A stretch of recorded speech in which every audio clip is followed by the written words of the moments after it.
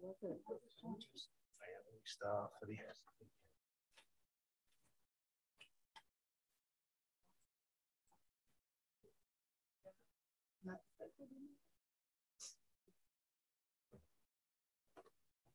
Okay, you're good.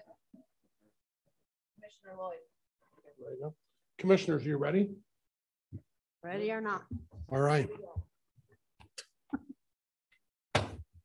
Like to call to order this meeting for the Sweetwater County Board of County Commissioners from February 15, 2022.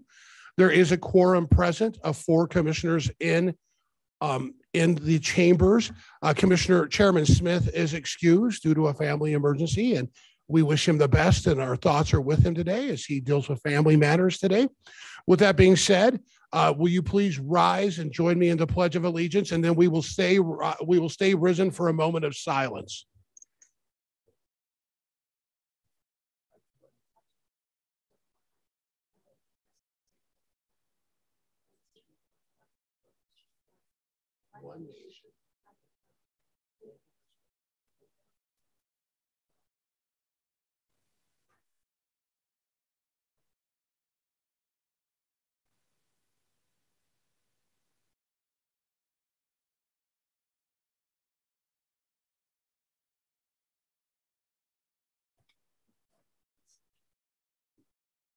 Thank you. Next up is we need to approve our agenda. I do want to mention there are a couple um, um, changes that have been brought to me about the agenda. Specifically, um, tab H has been asked to be removed. Tab H was, um, pull that up. Um, the, with, uh, Mr. Ligursky and the Curative Abbott Lab temporarily using seven thirty-one C Street. They will be using an alternative address. So that can be pulled from the agenda. Also in executive, um, we already have one I, item of legal um, listed. There will be a second legal that will be um, listed in agenda. Is there any other changes or amendments that need to be made to the agenda today? Uh, Mr. Chairman, we, uh, I think we can cover it under, uh, after pre-decisional to approve the, uh, grant for our plan. I believe we can cover it under that tab. Under where? After, uh, pre-decisional on the, uh, cooperative, federal co- cooperators. Um, just a little reach over to John De Leon. John, would that be an appropriate place to put that agreement to do it under the cooperative stuff we already have listed? I mean, I think it's the same. When we, Okay. come when we come out public, yeah, we could approve it. Okay. okay. With that being said, do I have, can I get a motion to um, agen- amend, uh, to accept the amended agenda with the amendments being uh, tab H being removed and an additional legal being added? Mr. Mis- Chairman, oh, I would make that motion. Do I have a second? Second. Any discussion? All in favor with an eye? Aye. Passes majority. All right. Let me come back to the top now. Up next is uh, the approval of minutes for the um, uh, February 1st, 2022 meeting. Um, Has everyone had a chance to read them? And if so, um, can I get a mo, can I get a motion to pass those minutes as presented? So moved. A, mo- a motion by Commissioner Schoenfeld. Do I have a second? Second. Second by Commissioner uh, Wendling. All in favor, approve with an eye? Aye. Aye. Aye. All right, with that, a, a, a- a motion passes. Up next is the acceptance of the bills, which would be the approval of county vouchers, warrants, EALs, approval of bonds, approval of monthly reports, abates related to Southland Settlement Agreement and stipulations, approval of abates, rebates, and approval of hospital maintenance expenditures. Could I get a motion for those? Mr. Chairman. I'll Well- make a motion to approve as presented. That's a motion by um, Commissioner Schoenfeld. Can I have a second? Aye. Second. Dot on it. Second by Commissioner Wendling. Any discussion? Mr. Chairman, Yes, Mr. Wendling. uh, thank you. Um, I would just like to point out that, uh, as the, uh, Southland settlement comes together and finishes up, that, uh, we remind our, uh, treasurer not to distribute any money, um, from that last payment until we have that conversation um, to make sure we're all aboard uh, with regard to um, uh, deducting the attorney fees for that lawsuit and then distribute the remaining dollars based on uh, uh, the percentages that uh, we used with the first dollars.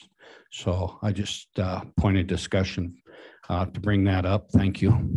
Thank you, Mr. Wendling. Um, we're going to bring up uh, Treasurer Barbuto real quick to just make a comment on that since he's here. Yeah, thank you, uh, Mr. Chairman and Commissioners, and uh, thanks for accommodating me at a kind of unusual point in the agenda. Um, Regarding this Southland, uh, the bankruptcy settlement and the abatements we have as a result.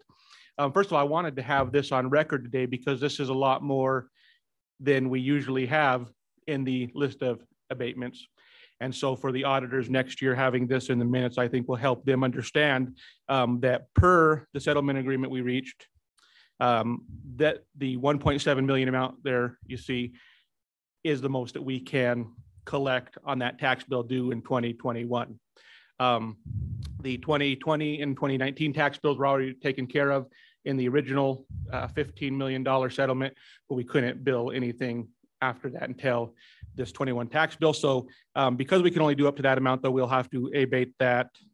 It comes to uh, just a little over 2 million for all four of their accounts, which are- which are held by WAMSET or EMP right now. Um, As Commissioner Wendling mentioned, uh, under Wyoming statutes, it is permissible to reimburse legal fees in, when they're associated with collecting taxes. And so uh, to do that, though, um, if you wanted to take that course of action today, uh, the statutes also require you to certify the amount that you want to um, have reimbursed. So I can't just make those reimbursements without you guys taking action today. And if you do that today, then we'll have to take the, those four accounts um, in, that are related to Southland off the abate list and move that to your next meeting because it'll change the amount that we have to abate. I do think it would be best to make it an agenda item on the next meeting. Uh, do the rest of my commissioners agree? Yes. John, from a legal point, would that be the best way to handle that? I think that's good. Well, Okay, not, so, Mr. uh, Chairman, yes, Mr. Wendling. yeah, just comment on that. That keeps everything very transparent because it is tax dollars. It is uh, um, the people we represent. So next agenda would be perfect. Yes. Okay, so Mr. Chairman, just for clarification, you're gonna, you'll have to take some action, I think, and, and Mr. De Leon can uh, advise on this, but to remove those from that list of abates, if you're going to move that to the Okay. next meeting. And then I don't know if you want to take action today to allow for the reimbursement of those legal fees. Um, Otherwise, I can see a situation where we could be putting this out for two more meetings, which is just kind of extending this story longer than any of us probably wanted.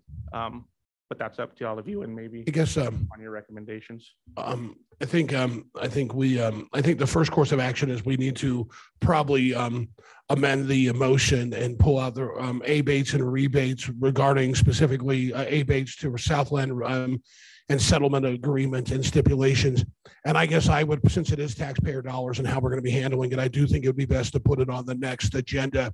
So it's clear and transparent, in my opinion, um, uh, just to make sure the rest of my commissioners are in, um, in favor of that. Um, just, um, what do you, just with a nod, a yes, does everyone agree that we should do that next meeting? And just, um, amend the, uh, pulling out the, um, making a, an amendment on the, acceptance of bills and not accepting the abates related to Southland settlement. Does everyone agree with that? Yes. Yes, Commissioner Swedling? yes. Okay, Commissioner Schoenfeld Sure. and Commissioner Thoman? Yes. So can we get another, uh, an amended motion that Mr. does not, Chairman. that pulls the, um, the abates related to Southland settlement? Mr. Chairman, Yes, Mr. Wendling. I would make a motion that we amend the approval of the bills and remove the uh, um, abates related to Southland Settlement Agreement and stipulations. Okay, do I have a second? Second. Discussion. Already had plenty of it. All right, with that, all in favor with an eye?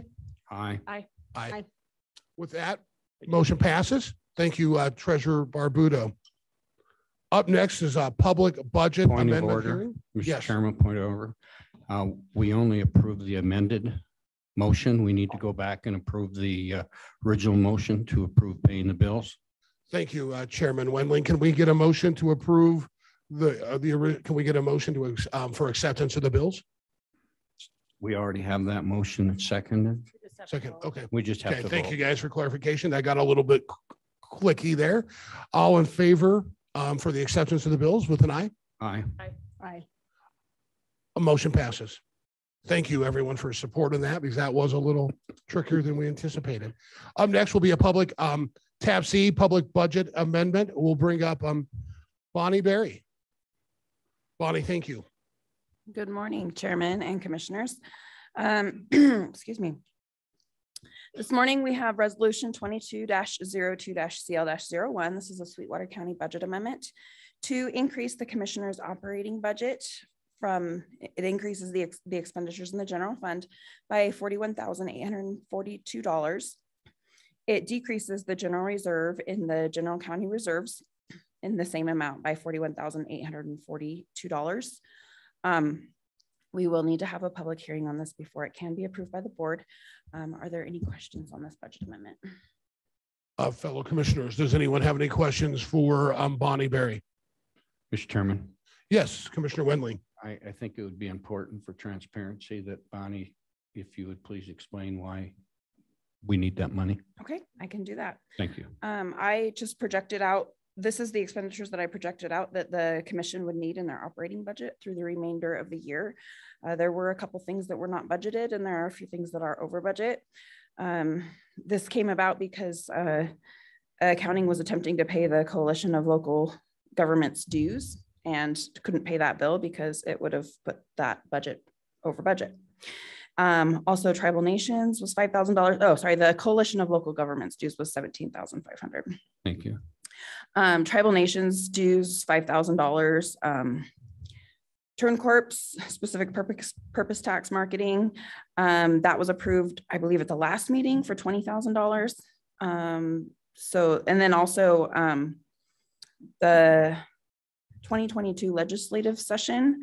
Um, some expenses are already encumbered for that, um, such as the hotels and the registration, um, but the mileage and meals will need to um, come out of that budget. And that, my calculation for that was $2,989.45. Um, just projected operating expenses through the rest of the year, I was projecting a little over $5,000. And then um, I deducted out what was remaining in the operating budget, which was $8,671.89 when I calculated this, which came to a total of $41,841.38. So I rounded up and we got to $41,842. Thank you very much. You're welcome. Chairman, uh, Mr. Wendling, thank you for asking that question. That was my question also. Any other questions? If no other questions from the commission, we will open this up for a public hearing. So at this point, if there's any public comment, please come forward. And if you come forward, please make sure you speak into the mic and introduce yourself. And this public comment is specific to the budget amendment. We will call for other public comment in a minute. So we always have people that get confused with that. So we'll clarify. So we're good. And we look forward to hearing from you in a minute. So. Cindy, anything? Okay, we'll give it just another minute.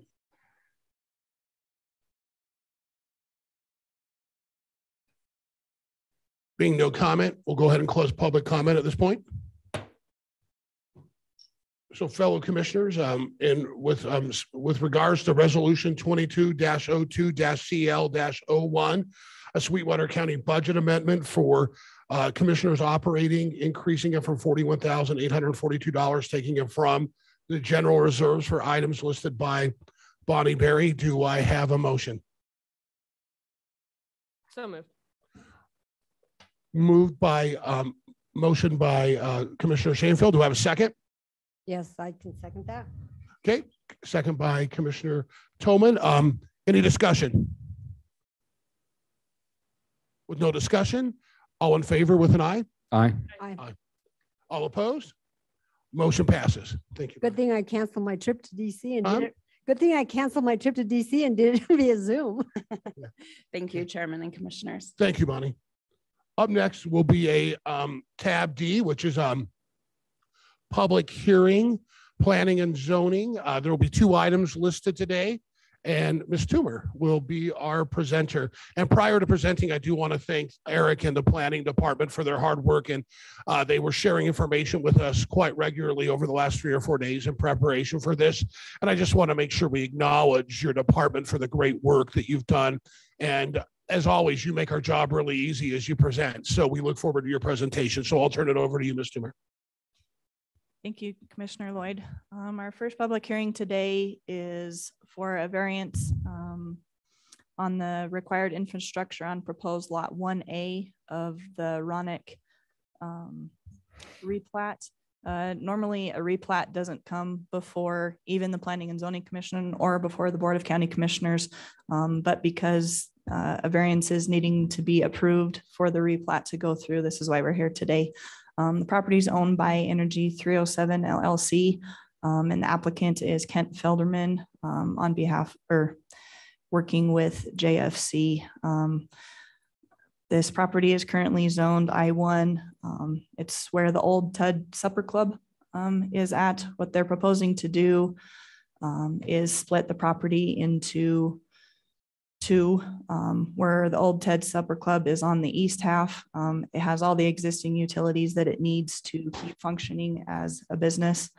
Um, and then the lot one A is on the west side where it is going to be still remain a vacant property. Um, there are no plans at this time that we are aware of for this property to be developed. It's just getting ready to be sold. Um, these are the pictures of the public notice and site photos that Mr. Zimmerman took when we posted everything. And the actual um, variance is being requested from the Sweetwater County subdivision regulations, section five E three B four. And it reads, the applicant is responsible for the installation of all infrastructure improvements to the lots which serve the original lot at the time of the replat application. The replat shall not be recorded until such improvements are installed unless the applicant provides financial insurance in compliance with the subdivision regulations. Um, Due to this being a subdivision variance and not just a, a regular variance per code, there are actually five criteria that our office looks at um, to make sure everything is kosher and um, in moving forward. And we'll briefly go through those. The first is that owing to the extraordinary circumstances, literal enforcement of the provisions of this resolution will result in undesirable characteristics such as traffic movement, lot design, or utility extensions. The proposed lot one A will be vac- vacant land and there is no proposed development for the property at this time. Due to this nature, it will be hard to determine the size and location for water and sewer service line extensions. Not knowing the size of development or even where the location the approximate location would result in undesirable characteristics for the utility extensions at this time. Criteria number two, that the variance if granted will not cause any offsite problems such as traffic, utilities, drainage, water, and sanitation on other properties. Um, We do not foresee uh, this variance if granted that it will cause any of these pro- offsite problems. Criteria number three, the variance if granted will not substantially or permanently injure any adjacent conforming properties. Uh, The land use staff does not see um, that approving this variance, that there's going to be any of these problems. As stated before, the proposed lot 1B already has all the required utilities that it needs to continue um, as a developed property. Um, This variance is simply just for the vacant um, lot 1A at this time. Criteria number four, the variance if sought, the variance if granted, excuse me, is the minimum variance and least modification that will afford the relief sought. If the variance is granted, it will be the minimum variance and least modification of to afford the relief sought, not requiring the installation of all infrastructure improvements to the proposed lot one A, which served the original lot at the time of the replat application would allow for the correct size and location of these utilities to be installed at the time the property is developed. Um, this is something that will be caught when um, the property owner will come to our office and apply for a building permit. Um, it will subsequently trigger all these improvements to be um, installed. And the last criteria we look at is that the variance will be in harmony with the spirit of this resolution and will not adversely affect the public safety or welfare. And we do not see any, we have not seen and will not see any um, adverse effects to the public health, safety, and welfare. When we put this out for public and agency comment, we received two comments back from agencies. The first being Kinder Morgan. Um, they do have facilities in the described legal area, and they were requesting a detailed drawing of the area for the proposed work to ensure their facilities were kept safe. Um, after a couple different correspondence back with Tony O'Brien, who works for Kinder Morgan, um, we assured them that we don't know what this property is going to be developed for. Hence, we can't give him the requested drawings and everything he was looking for. And after kind of clearing things up a little bit, he um, was okay with that and did not have any adverse comments um, to this variance. And then Sweetwater County Emergency Management has no concerns with this variance either. At the February 9th, 2022 meeting, the P and Z Commission voted four to zero to recommend the approval based on staff recommendations. And staff also at this time um, recommends approval. That's all I have for public hearing one, Commissioner. Okay. Thank you, Ms. Duber. Um, any questions so far, Commission, any from any of our commissioners? Mr. Chairman, Yes, Mr. um, Winley? Um, Megan, no conditions with this. That is correct. There's no conditions. Thank you very much. Any other questions?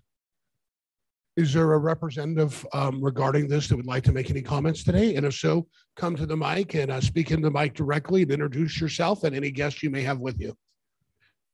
Thank you. Thank you. I'm Kent Felderman. I'm with JFC Engineers and Surveyors representing the plat today. Since the uh, owners were unable to attend, I'm simply here to represent the plat and this variance procedure in the event that any questions come up for that reason. Are there any questions, commissioners, for Mr. Felderman? Looks like you get off the hook today, Mr. Felderman, and uh, Thanks, pretty Ken. clean bill, but um, good work on this, but we appreciate it. So Thank you. At this point, we will open it up for public comment. So with that being said, open for any public comment regarding this planning and zoning issue.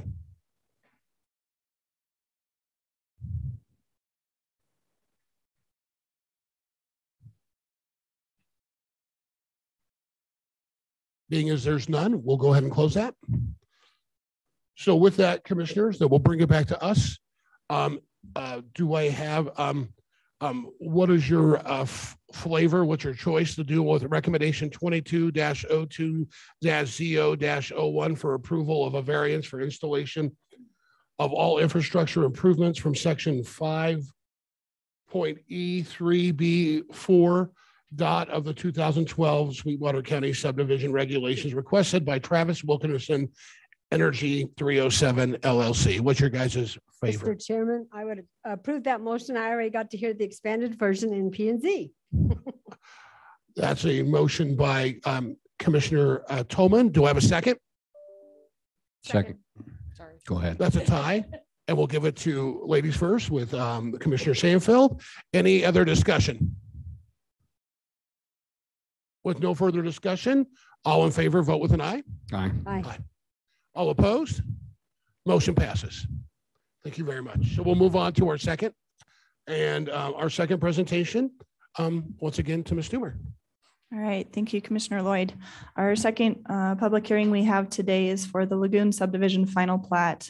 Um, The property is currently owned by Smith International, Inc., and the applicant is Mike Thompson with Schlumberger. Um, This is a roughly 35 acre uh, parcel of land that's located where the old Schlumberger buildings are, um, just a little bit south of the Curl Jacks exit. Um, this is a I two heavy industrial zoned um, property. And the current infrastructure that resides out there is being serviced by West Side Water and Sewer, the City of Rock Springs Water. Uh, Fire District One is the responder and Rocky Mountain Power and Dominion Energy also um, have utilities in the area. Um, just a bit of background. It's been a while since you guys have seen us. Actually, you guys have not heard anything. Excuse me. This has only been presented to um, the P and Z commission. This is the first time you guys have heard it, but there's been a little back and forth. This has been kind of an interesting, very good learning experience uh, for myself. But um, in moving forward, a little bit of background, we were originally under the impression that the property was owned by WH Energy Rocky Mountain Inc. This was the latest record we had um, here at the courthouse and also was the latest record that was provided by um, the title commitment that was requested just through the process of our subdivision um, through lots of correspondence and digging into this further. We have subsequently come out um, to the point where Smith International actually is who owns the property. Um, so we're grateful to have uh, figured that out. There has been um, two mergers that have happened that have led us to this point. And another important um, piece of information that I'd like to bring to your guys' attention is that on January 5th, 2022, the land use staff just happened to um, find out that there was a transaction that was taking place on this property um, that was proposed to be subdivided for the Lagoon subdivision. Um, book 1243, page 2985 was recorded on December 20th, 2021 at 11:04 a.m. This was a special warranty deed from Smith International Inc. to Questar Gas Company. The meets and bounds description, legal, and Exhibit B described the proposed Lot 2 of the Lagoon subdivision. Um, the land use staff worked closely with the Sweetwater County Attorney's Office um, to discuss this illegal subdivision matter. Um, per Wyoming state statute, uh, this was determined that because a deed was recorded, it and it being prior to the subdivision process, it was um, to be deemed illegal. Um, working closely with John DeLeon um, and the rest of the land use staff, the January 2022 meeting for the Planning and Zoning Commission was postponed um, due to finding out this information kind of at the last minute and needing to seek legal counsel on this. Since then, the land use staff and the county's attorney's office have proposed that due to this illegal subdivision, Questar Gas Company will now be considered part owner on the property and will also need to be signed on the plat. Um, we also want to make note that it is recommended. Fortunately, we cannot require this, um, but we would recommend that to help clean up records after this plat gets recorded, that a new legal description um, being described as Lot 2 of the Lagoon subdivision be recorded on it as deeded to Questar just to kind of help clean up the um, records for people to come after us that won't be here in 20 years. I think looking around the office, I won't be the only one here, unfortunately. But um, just a little bit of background there. We've worked closely with Mike Thompson and JFC on this to um, get everything cleaned up all lots. As you guys know, it was an existing sub or an existing site. There are six buildings out there. Um, due to the subdivision split, now having three lots out there, all the utilities will need to be rerouted so that they serve each lot individually. Um, this, of course, triggers the subdivision improvements agreement, which was sent out to you guys um, late yesterday afternoon. Um, we got that signed, and also there was um, having to have financial guarantee to back up the subdivision improvements agreement. Um, there has been a bond that has been um, created for this use, for lack of a better term. Um, we'll jump right into uh, the rest of it. We've posted this multiple times for public notice.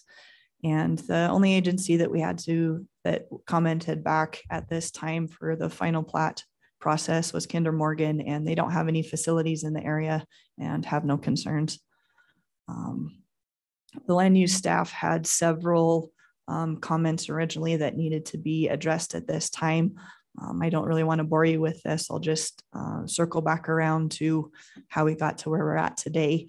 Uh, one of the things we wanted to do in order to help um, people in the future and just make sure chain of title on this property was in fact showing that Smith International does own the property. We requested that certificates of merger be recorded at the courthouse. Um, what ended up happening was affidavits with these certificates of merger attached to them is what got recorded um, here at the courthouse and subsequently the books and pages were noted on the plat uh, just to make it easier for everybody to kind of show chain of title with everything. Um, and as you guys saw by email, via email last night, and I've provided uh, packets for you to look at, uh, hard copy prior to this meeting, the subdivision improvements agreement was also signed on behalf of Mike Thompson yesterday.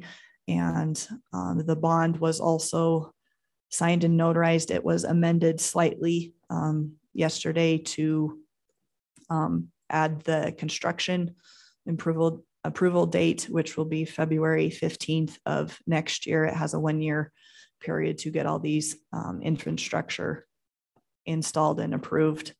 Um, and this is basically where we got at today. I'm not going to bore you with the um, previous planning and zoning recommendations. At the time of our planning and zoning meeting last week, we did have three um, conditions for approval that they recommended with a four to zero vote. The first was having those merger documents be recorded. Those did, did get recorded um, last Thursday. The subdivision improvements agreement was also executed. So we now have everything that we need so that the staff can comfortably um, recommend approval for um, the Lagoon subdivision. One thing that I do want to make note is that we would request that there's also to be included in the motion that um, we authorize the Board of County Commissioner Chairman to also sign the subdivision improvements agreement and also on the bond, as well as approving the final plat for Lagoon subdivision. And that's all I have, Commissioner Lloyd. Okay. Commissioners, any questions for for Megan? Mr. Chairman. Yes, Mr. Um, Mr. Wendling? Yeah, Megan, um, have, uh, all the conditions are now just, so we say it, there's no, uh, recommended conditions with, with this now? That is correct. As of yesterday, late afternoon, all the commission or all the conditions that we had originally recommended for approval have been met. So Okay. um, there's been a revised resolution that has no conditions on it and is also a recommendation for approval. That's Thank you. correct. Thank you. Any, uh, any other questions? If not, I'm going to invite, um, our planning and zoning director, um, Eric Bingham to make some comments. Mr. Chairman, just wanted to acknowledge that Mike Thompson is on the Zoom call and he is representative of Schlumberger. Okay, thank you.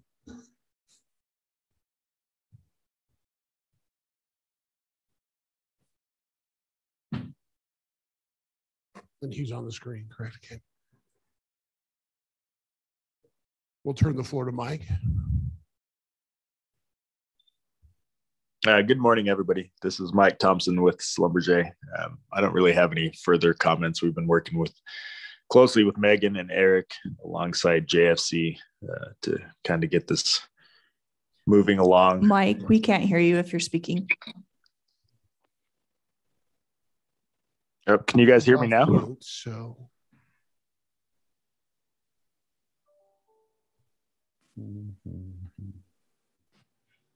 Are you guys able to hear me now?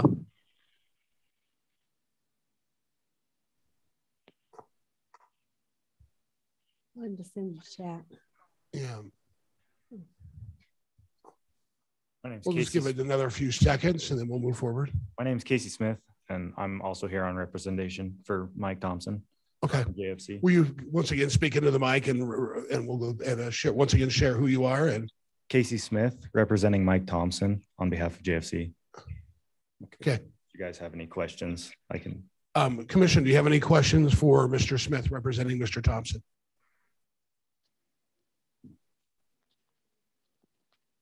Okay. Thank At you. this point, thank you, Mr. Smith, for coming up.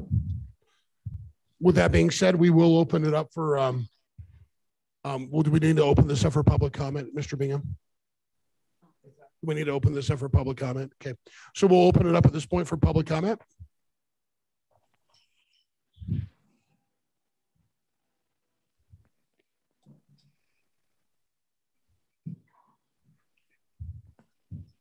Seeing none, we'll go ahead and close it at this time.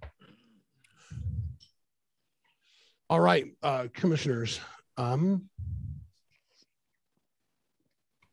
Mr. Chairman, yes, I'll make a motion that we approve resolution two-two dash zero-two dash sub dash O dash zero-two, the Schlumberger final plat Lagoon subdivision and authorize the chairman also to sign any other documents that are needed with regard to the bond and, Subdivision improvements agreement. and subdivision improvement agreement. Second. moved and seconded by uh, Commissioner Wendling and Schoenfeld. Any discussion? Seeing no discussion, all in favor, please vote with an eye. Aye. All opposed? Motion passes. So thank you very much. Thank you, commissioners.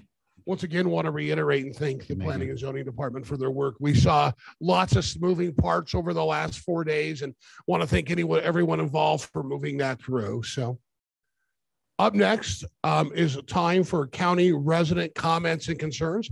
At this time, we will open the floor for uh, comments um, from our county residents. Um, we do ask that as you come to the um, to the podium, that you introduce yourself, who you're representing, and um, and at that point, we'll hear your comments. So do we have any county resident concerns and uh, comments at this point?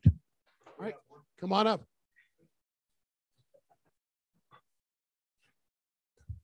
All right, I'm Bud Allen. I'm the district executive for the Boy Scouts of America um, in Sweetwater County and the surrounding areas. And April Ecker is one of our district committee volunteers. Uh, we just wanted to readdress some issues that I guess have come up recently in regards to the scouts potentially using um, Pioneer Trails picnic grounds for uh, a couple of events over the coming summer. Um, in the past, for the past several years, we've used that facility and it, it works out marvelously for some of our training events in particular. And we just wanted to clarify um, what, how many people would be involved. The question is, is the overnight use. And we just wanted to provide some more detailed information. Is it all right if I give you each a sheet of paper that has that information? That would be fine. Thank you. shows the key information here is the nights that would be the requesting use out there. And the number of people, approximate number of people involved. Each of those nights. And so you can see the, it's really low. There's a total of seven nights involved in the three events. And four of those nights, the number of people that would be out there is, is in single digits. Um, it's usually just, it would just be one or two campers that would be there, um, setting up for daytime activities or to be there with equipment that was set up, um, for daytime activities most, for most of those nights. So yeah, we're talking three night or three people, three people, four people, eight people. And a few more than that on, on, on three of the nights that there'd actually be a few scouts out there. So would, our hope was that that would provide some more information and say, yeah, our impact is going to be really minimal. Um, we've had a good record of, of keeping things clean and keeping things orderly out there. Um, and so we hope we can work that out to, to use that facility for those nights this coming summer. Any questions or other concerns? Fellow commissioners, any questions for Mr. Allen? You have anything you want to add? Um, also to. Will you please speak into the microphone and introduce yourself? Also to the majority of us scouts and the scout leaders, we are leave no trace educated. So all of our policies and practices, we do do that. We also make sure that the park is a lot cleaner than what we found it. Um, our service project, whenever we do use that facility, is to walk through the whole entire area with trash bags and picking up trash that other people has left there. So that way the park is clean when we do leave. Any other questions for the Boy Scouts? Mr. Chairman. Um, Miss um, Commissioner Thoman? I guess we voted last meeting not to approve it based on our uh, Public Works Director, Gene Legursky. He's just afraid of the impact to the grass when you have like 50 tents or 50 campers. And that's, and that, that, that's exactly what we wanted to address is that's not what's going to be the case. Eight people don't need 50 tents. No, but 50 and 30 people. Yeah. On, on, on, we have, we have had event, have had events out there where we have had fifty plus people, scouts out there. We have, um, we're not, we weren't planning to do any of those this year. Um, and so I don't know the number, I don't know how even one night of fifty people out there isn't going to have any more impact than than one event in the Bowery or anything anyway. And that's the marvelous thing about the the facility is to have that Bowery. Yes, there are other we have lots of public lands and lots of opportunities, places we can do some of our activity, some of our events and activities. But to have that Bowery just works out great for a training situation or for our Cub Scout activities where we're doing crafts and various things and having the picnic tables um, in a in a somewhat sheltered situation in case of inclement weather. So yeah, the the the majority of the of that use is right there in the Bowery um, and on the sand and the the immediate traffic areas right there in the area. Um, just in time. um, so anyway, that, that, that, I don't think we are, the impact even on those nights wouldn't be any higher than having fifty people out there for another event, another activity in that big Bowery anyway. Um, any other questions, um, or, um, uh, Commissioner Schoenfeld?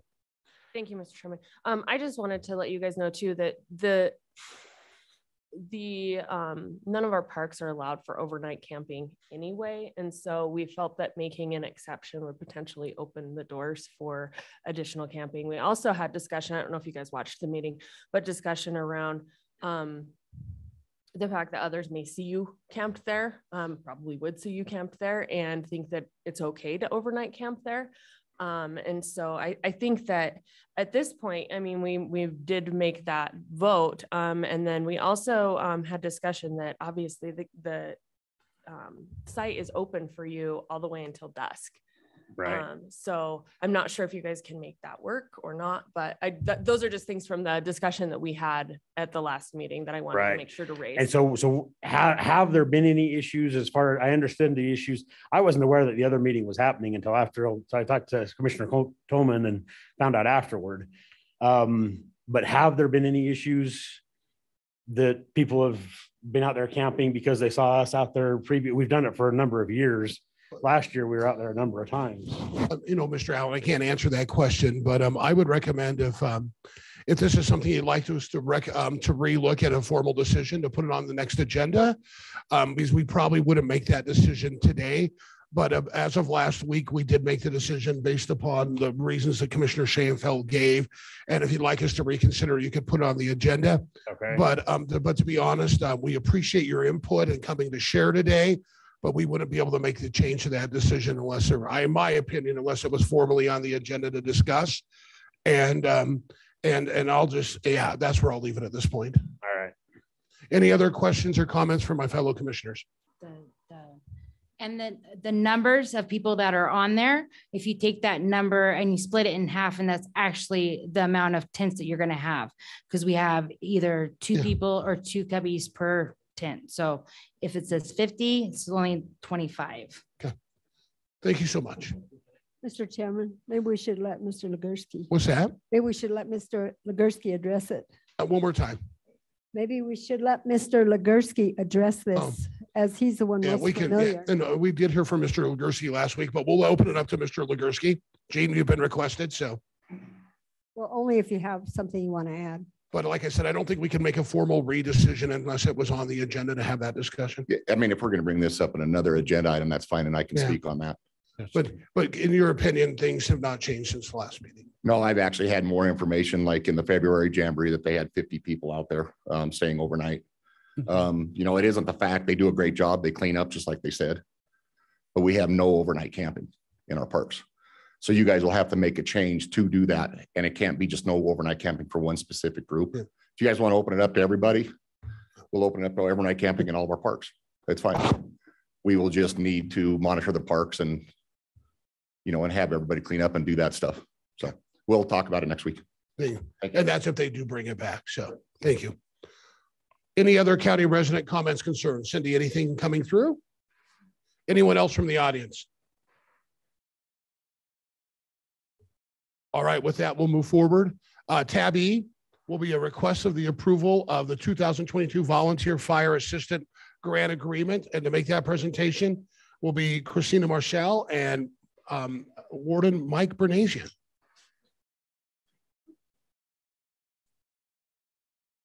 Good morning. Good morning. This will be nice and short again. So, Mr. Chairman and Commissioners, Sweetwater County was awarded $7,500 in volunteer fire assistance grant funding from the Wyoming Office of State Lands and Investments Forestry Division. This grant requires a cash match of 50% on the total project, and it expires on May 30th, 2022. So the purpose of this funding is actually specifically to support um, rural areas and communities with a population of 10,000 or fewer inhabitants to prevent and suppress rural fires and enhance protection capabilities. Uh, the grant award will be used to purchase uh, miscellaneous wildland fire equipment that will improve the capability of the firefighters to suppress fires at the Sweetwater County Fire Department. So as I've listed, uh, the project was uh, proposed by the county fire warden to purchase miscellaneous items such as a hose and apparatus pressure washer, fire shelters and cases, fire pants, remote front monitor, joystick and mounting enclosure, and um, scuba masks and bag. As a note, the required cash match for this project uh, was uh, included in the fiscal year 2022 grant projects budget. There's no other estimated budgetary impacts. Uh, the proposed equipment was not included in the fire department's regular fiscal year 2022 uh, budget. And I have the fireman, fire warden ready to discuss in detail this project. If you have any questions, um, one final note, if this is passed, uh, Mr. Chairman, you would need to manually cross out the name listed in the contract and just write your name in there as acting chairman. Sally, you may have to guide me. And with I'm that, honest. I'm happy to answer any questions, or would you like uh, Mike Bernasian to come up? Um, I'd like to open the floor to uh, give um, uh, Warden Bernasian a chance. To, if there's anything you want to share with regard to this, and if you don't have anything, that's all right too. If she's covered it well, your call. Sure. Yeah. Morning, Mike. Good morning, everybody. I come before you every year with this grant. Um, and based on some questions I had last year, um, wanting specifics, I have specifics uh, for for certain items. The the pressure washer is a replacement. It's not a new addition to the fire station. Our current one has been is the point where it doesn't pressure much at all, and the heater unit doesn't work in it. The shop's worked on a couple times for us. Um, the uh, fire shelters are pretty pricey. Uh, we send those back to be repackaged. They have to be repackaged after so many years and a couple of them failed inspection by the official federal inspector. So that's why we're looking to replace those. And then uh, replacing some wildland pants.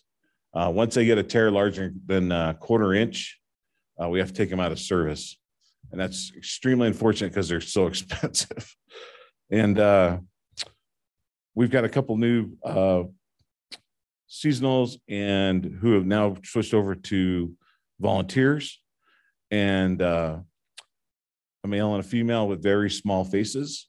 And we have to order some small uh, masks for them as we don't have any currently.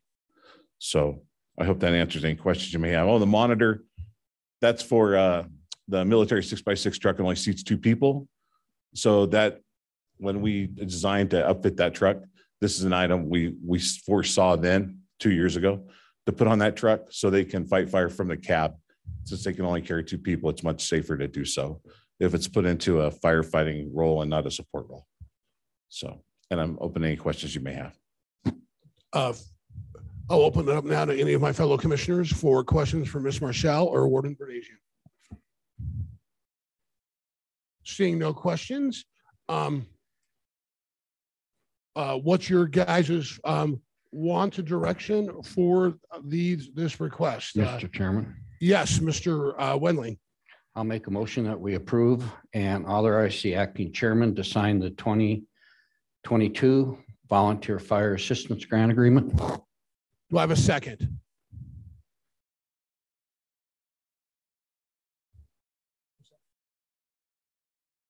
I'll second. Second by Commissioner Schoenfeld. All in favor with an aye? Aye. Aye. Aye. All opposed, same sign. Sorry, I, I forgot to ask for discussion, but we're going to move forward. So I don't think there was. So with that, motion passes. Thank you, um, Ms. Rochelle and Mr. Mauresian for Thank you today. very much. Have a good day. Be safe. Have great days. One final comment. Go, go pokes tonight. Go Pokes, number 22 in the country. So, hey, Uh. way to bring sunshine to our day. So, thanks, Eric. All right, up next was tab F and G, which would be Devin Brubaker. He was, um, Jeff did say that he reached out to him and, um, he may be, he will be joining us by, uh, Zoom, but could be late today, um, and would need to be a little bit later based upon a previous commitment. So, with that being said, um, um, that does take up to our next items. Mr. um, Chairman. Through, uh, the sheriff. So yes, uh, Mr. Wendling. Yeah, um, Clerk Lane, there's a chat. Will you check the chat?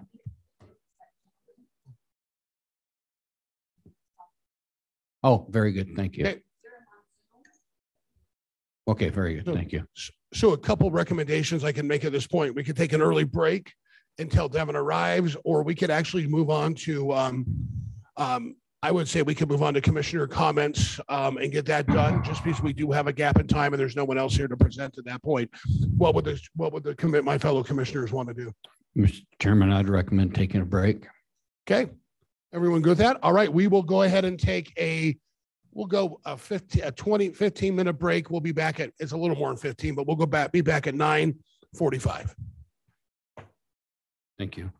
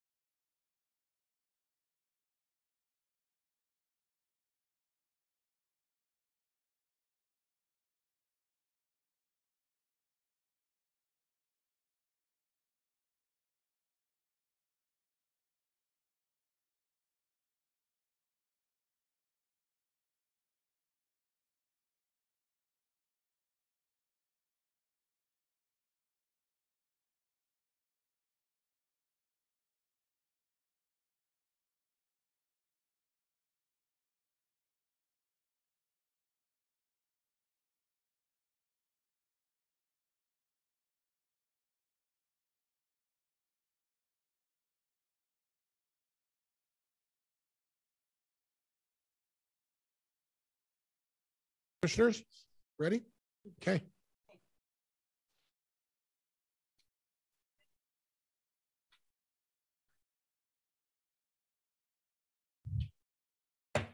I'll bring us back into um, session. Um, We're still waiting for Devin on Zoom. So with permission, I'd like to jump to tab I um, um, because tab G has been um, taken off um, and we're waiting for Devin for E and F. And uh, sorry, tab H has been taken off and jump to tab I, which would be our sheriff, John Grossnickle. Uh, and he'll be presenting on the 2022 annual operating and financial plan between the county of Sweetwater and the USDA Forest Service Ashley National Forest. So John, I'll turn it over to you. Mr. Chairman, Commissioners, thank you. Excuse me. Uh, This is our annual contract with the U.S. uh, Forest Service for our uh, overtime uh, during the summer to patrol the Flaming Gorge. Uh, Sergeant Powell's done a great job since we've implemented uh, more patrols down there. Last year, thank goodness, we had no major incidents of uh, uh, death or uh, personal bodily injury. I think that's the first time we haven't had a major incident in a lot of years that I can remember. So this is just the, the six thousand dollars that the Forest Service pays us to contract out so we can have uh, enforcement down there during the summer. Fellow commissioners, any questions for Sheriff Grossnickle? Yes. Go ahead, Commissioner Thoman. It says something about back page. That means you can draw on that last year that, or not back pay, but the amount that was not spent last year can still be used this year? Correct. It- it- Nineteen thousand eight hundred? It, it'll roll over. That just hasn't been uh, billed out yet. That, that happens Oh. almost every year that Oh, okay, it takes a while for the federal government to build that out. okay. Any other questions from the, from the board?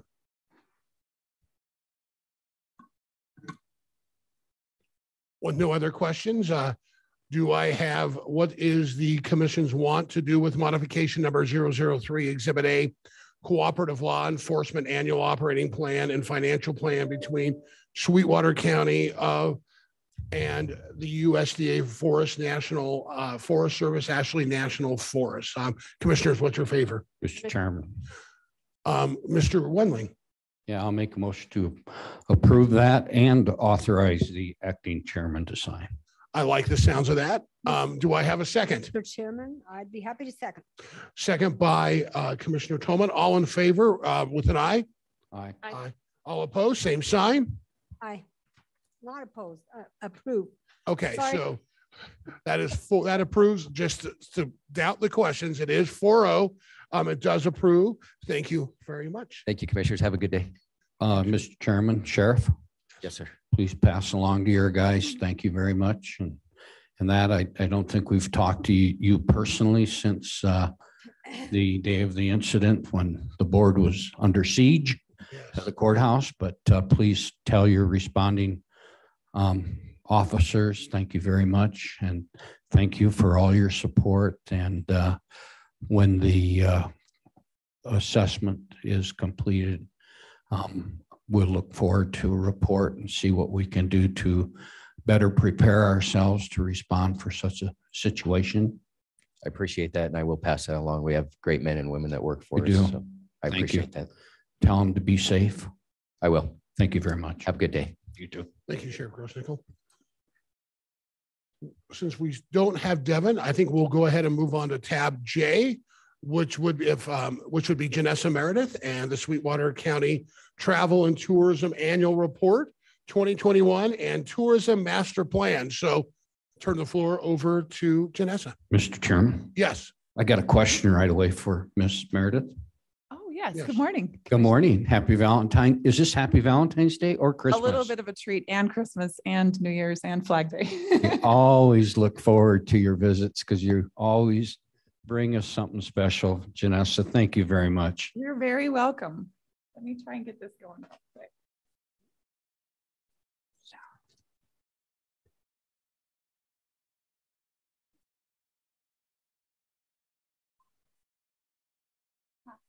You can, you can, you can turn it to that. Yeah, that's fine.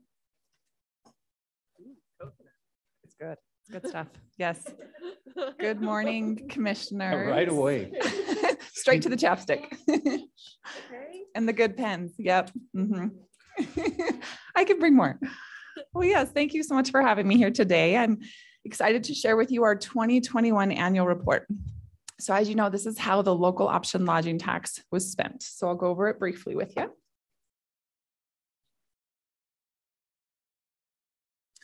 Um, as you know, the Lodging Tax Board is made up of 11 volunteer board members. Six of them come from the city of Rock Springs, two from Green River, one from Wamsutter, one from Superior, and one's appointed by the county commission. So it's a volunteer board um, that is charged with administering the local option lodging tax, which is currently a 4% local option lodging tax.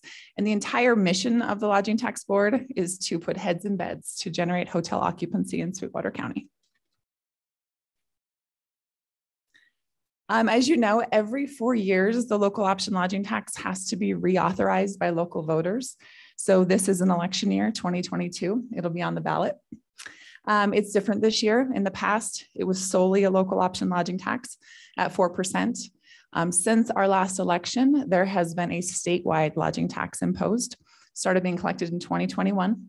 So it's a 5% statewide lodging tax, which actually replaces two of our local option lodging tax percentages um, to where that does not go before the local voters. At this time, only the additional 2% to keep us whole at 4% will go before the local voters.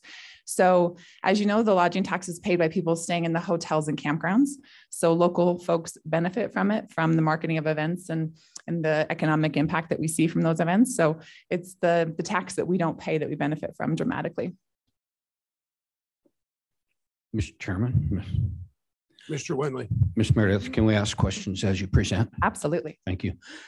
Um, one of the questions that often comes up is, is does the tax stay on or come off when a business stays at a motel and it's a long-term stay? The 30 day rule. Yep. There used to be part of the state statute indicated that if you stayed longer than 30 days, you were not charged that tax. That was changed by an amendment in recent years. So what does that amendment say now? It says that you're charged for tax the entire Beyond time. the 30 days. Very good. Thank you. You're welcome.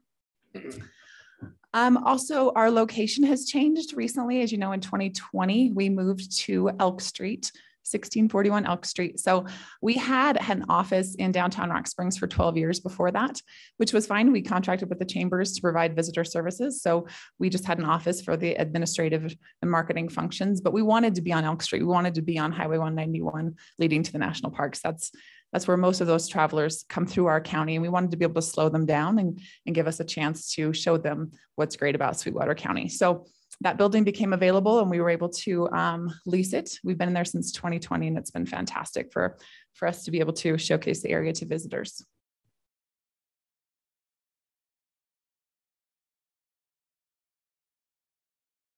Um, this is the budget breakdown. So by state statute, the local option lodging tax has to be spent on marketing and promotional efforts. We can't build an attraction. We can't build um, anything um, like a Disneyland or a Disney World or a, a zip lining park or anything fun like that. It's all for marketing and promotions, which is great. So 79% of the budget is our traditional marketing campaign, which I'll show you here briefly. Um, and then 7% goes to event grants, uh, 3% to the chambers of commerce, 3% to the events complex, and 8% to administration. So you can see as a lodging tax collection has come in over the years, we've changed our rate.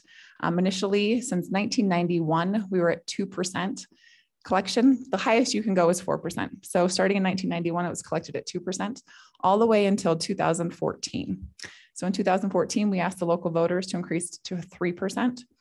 Um, and then in 2018, we asked them to increase it to that 4%, that full amount. Most every um, destination around the state has been at 4% long before we ever were. So it was definitely time. And you can see that we're collecting around a million. We did see um, a decrease with COVID 19, but not substantial compared to a lot of areas around the state and country. So we feel good about that. The block grants that I mentioned to the chambers and the events complex, we help the chambers provide visitor services. We help them with their staffing. They distribute brochures for us. They do a lot of things for us. It's a really great partnership. And then we also partner with the Sweetwater Events Complex, um, help them with their out of county advertising and event recruitment. So the event grants, that 7% of our budget. Um, as you know, any event in the county that's hosted by a nonprofit entity uh, that generates hotel or campground occupancy qualifies for lodging tax dollars. So we give up to $6,000 per event. So Wyoming's Big Show, the River Festival, Flaming Gorge Days, every sporting event that you can think of for our youth, um, conferences, conventions, hockey, most everything you can think of is, is receiving lodging tax dollars if it's hosted by a nonprofit event. So we consider those applications quarterly. So if anyone is interested, they can go to our website at tourwyoming.com. And at the very bottom, it says grant information. You can get more information on that. We also work to recruit international tour groups to our area. We partner with a group called Rocky Mountain International to meet with tour operators from around the world. Uh, we partner with regional states to market ourselves as a Western um, item on, on an itinerary that's sold around the world.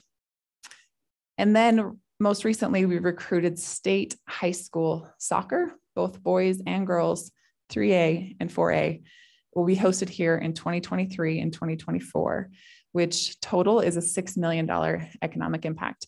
I'm really proud of this in the fact that we were able to bring together both Rock Springs and Green River high schools to collect how many fields that we have, look at our inventory, look at our turf, realize that we're the place to host these events. And we went for all of it two years for boys and girls, 3A and 4A. Being able to work together with both communities has really, really been awesome. So, super excited to be able to host that next year and the year after. So, that was a big win. um, committees and boards. Um, as you know, I either serve on or host a number of committees um, or boards in the state and in the county. Just really proud to do whatever we can to promote tourism. Also, I'll touch briefly on the Sweetwater County Tourism Master Plan.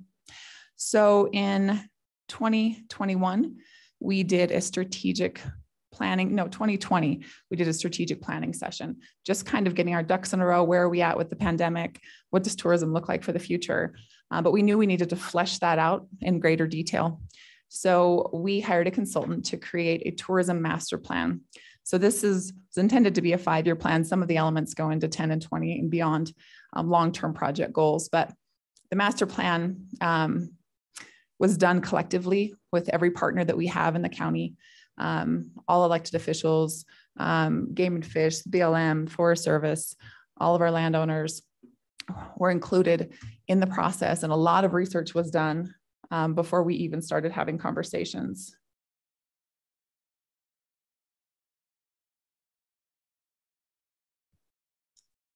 So the consultant collected 31 local guiding documents. So any strategic plan that existed in the county um, municipalities, the chambers, economic development, uh, the events complex, our tourism master plans, Wyoming Game and Fish, the BLM, WYDOT, um, every master plan that we could get our hands on in the county was considered. So he went through all of those plans and looked for common themes, common ideas, common goals, what rose to the top, what were more than one entity thinking was a priority.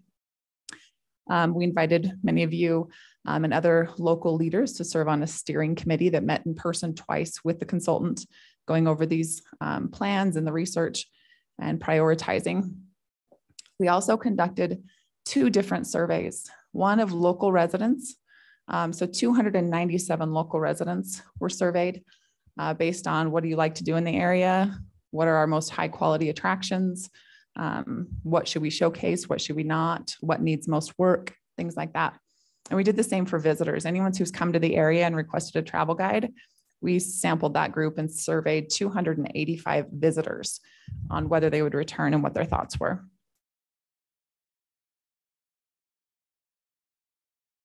I'll go over this in greater detail at a later date, just because it'll take more time than what we have today. But these were the um, the strategic issues that came to the surface um, that needed work and that we wanted to make part of this plan. So partnerships and collaboratives, as you know, are just it's just critical. If we can't all work together, everyone's working in a different direction on different things. We don't get as much accomplished. So that's got got to be our number one goal. Outdoor recreation became the absolute top uh, priority in everything that we saw. All of those um, guiding documents mentioned outdoor recreation as our top opportunity, our top um, resource that we have here attractions and amenities, um, indoor, outdoor facilities are critical um, to moving forward with our tourism master plan. And then travel industry infrastructure, just making sure that we're supporting the industry, um, hospitality industry here locally. So the plan is long. I've shared it with you. Um, I'll go into more detail, like I said, at, a later date. Uh, but I wanted to pull out some of the key elements for you to consider um, from here forward. And then um, I'll give you a lot more detail in the future. Um, as you know, this past summer, we were able to launch our Flaming Gorge bus tours, which were awesome. Um, it's a full day guided tour around Flaming Gorge. Um, we wanted to do this for a long time. Uh, when folks come to the area, they want to be guided. They want someone to show them around and um, not have to go out and explore and find it on their own. So we hired Lucy Diggins Wold, who's just phenomenal. She was with the Game and Fish for 27 years. She's just phenomenal. She's our tour guide. So we hosted almost 200 passengers last summer, um, all five star reviews on TripAdvisor. So really excited to be able to host it again this summer. We have 28 tours scheduled, mainly on Thursdays and Saturdays. So if you're interested, jump on our website. Tickets are already available. So should be a great summer. Um, this is new. this is new. Um, sandboarding. So if you have been to Great Sand Dunes National Park or other sand dune fields around the country, world, um, sandboarding is a thing. And I didn't know. I didn't realize that it was a thing. Now we know. Now, now we know. So what's unfortunate is when folks want to go and explore the Killpecker sand dunes, if they don't have an ATV, we don't have a rental vendor available. So what are we going to have them do? Because it's epic. You've been out there. It's phenomenal. Um, it's so impressive. I just, I could stay out there forever. So we wanted to figure out a way to make it easily accessible to all ages, families traveling through the area. So this summer we will likely be renting sandboards. $25 a day. Um, they're fun. They're fun. I've done it. I've done the sandboard stand up and the sled where you sit down. So you have options. Um, I feel like sledding might be more. right? If you've snowboarded, if you're a snowboarder, this comes so naturally. Everyone who's a snowboarder, they're just like, oh, yeah, and I'm not. so it wasn't pretty. There's videos to prove that I am not good at this sport, but it's a good time. So um, I'll get you more information on that as it as it develops. But it Then I should be, it should suppose they're going to want lifts to get into the top of the sand Right. pile. yep. You got to be in good shape for sure. I always recommend sharing a board. Don't just get your own because then you're just going to be up and down and up and down. Just share. You just need one board. yeah, it's a workout. Be a real good heel buffer too. Right? Yeah. Get off the dead skin. Um, board projects that was on my pie chart as well. So any project that benefits tourism in the area that doesn't fall under another category, we consider for funding. This actually, we didn't contribute a dime, just ideas to this. So when the Tiffin um, Motor Coach Rally was in town, Go RVing shot a commercial for the Addams Family 2 movie. I'm hoping I can show it to you here in a second, but the scout came into the visitor center and was asking for a location where he could showcase a number of, of motor coaches, like where's a flat area that's scenic. And he had showed me some photos of what he found on the Utah side of Flaming Gorge, which were beautiful. But I enlightened him as to where a better spot might be. And luckily, he believed me and went with it. I'll show you. This isn't the commercial, but this is a YouTube version.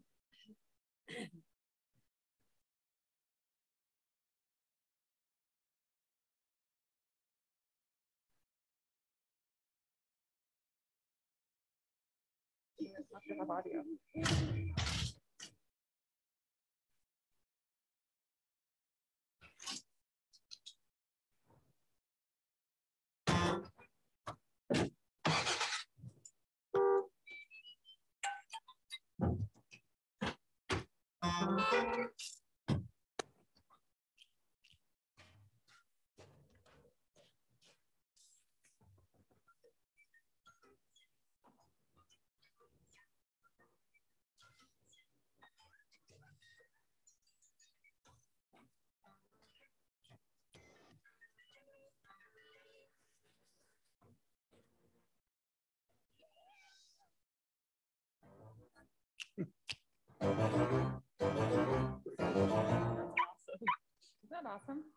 That is great.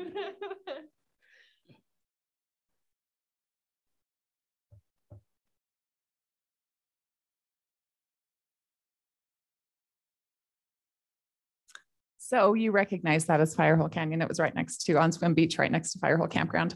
So yeah, I went, I measured, I scouted, I videoed it, I sent it to them, and they they chose it. Those um, scenes were shot through the night, so really really cool. Um, really really proud of that.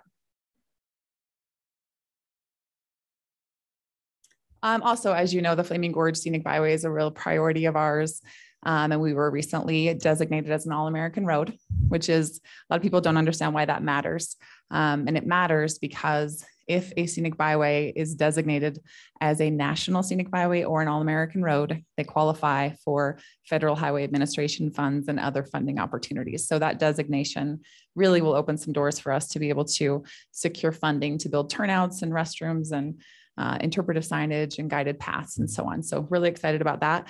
We showcased that on um, KUTV2 News this summer. Many of you attended that ribbon cutting um, and I have a clip of that as well.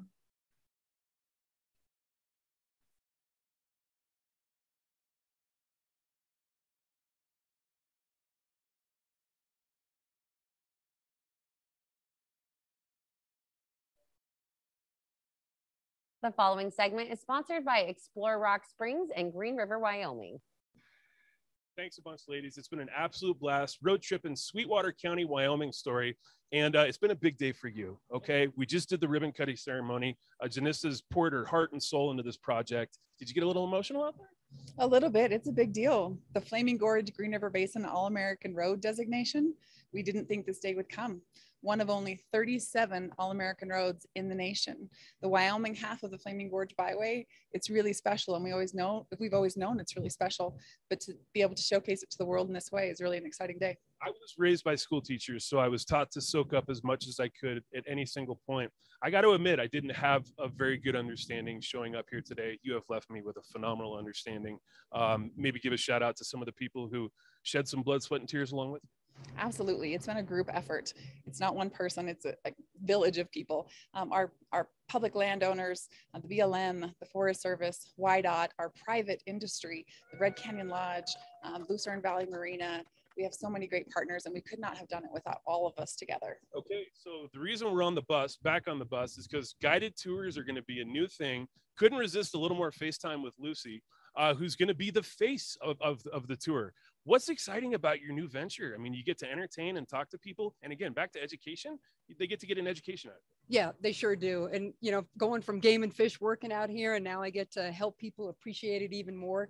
I'm excited to be out here with these people. I, I always took it for granted, but I get people get so excited out here and really looking forward to doing that. Okay, with your background in game and fish in 27 years is incredibly significant. Tell me about some of the rocks. Tell me about the lay of the land, the plants, and the wildlife that you get to see. Are you saying I'm old? Yeah. yeah. Are you saying I'm old? well, no. Yeah. I mean, when you talk to people about billions of years of geology, been a little bit of a challenge for me, but there's tons of bighorn sheep, elk, mule deer, elk, uh, just lots to see out here. It's not going to be that difficult. Okay. Yeah, the flowers are in bloom. They'll be there all summer. And this is a comfortable bus, and I know you're going to specialize in making people comfortable when they're on here, including food and including beverages. What's on the lunch menu, if you don't mind me asking? Yeah, well, we eat at Red Canyon Lodge, and, it, and it's uh, soup and salad. It's a buffet. He's got his hummingbird feeder set up, and you sit there and watch them. It's it's just a pleasant place. Got a little kid fishing pond. We got donuts from Cowboy Donuts, bottled water, of course, and they can also buy things at the visitor centers that we stop at. So. Okay. Yeah. Janessa, we're running just a tiny bit short on time. Um, again, I get it. You know, this is something that deserves to be celebrated and it deserves to be seen.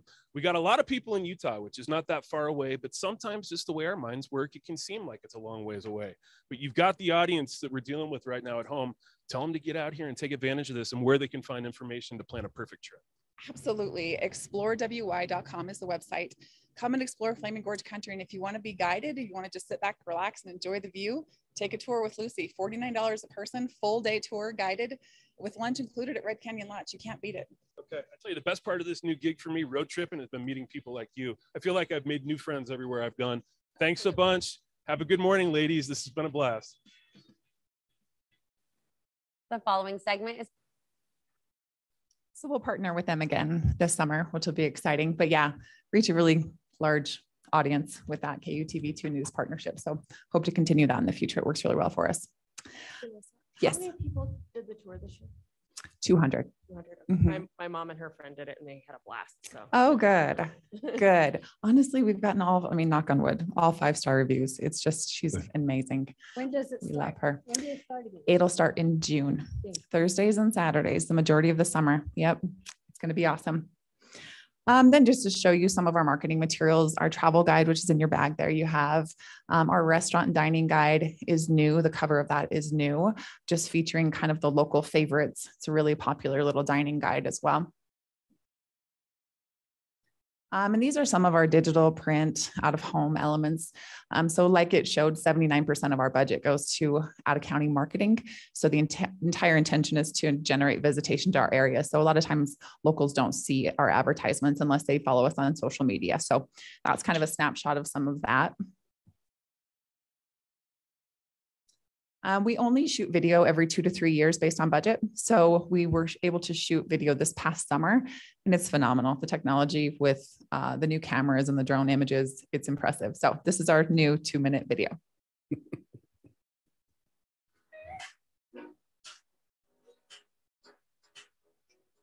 In Southwest Wyoming, adventure is waiting. This is how we explore it in Sweetwater County. Discover classic Western towns like Rock Springs, where vibrant art meets natural history. Visit Green River, where the water kisses rock in an outdoor adventure haven. Make the drive and tee off your journey while surrounded by breathtaking landscape. Let your spirit run wild through the Flaming Gorge National Recreation Area and discover endless high desert hidden gems. Spark your senses among rare singing sand dunes.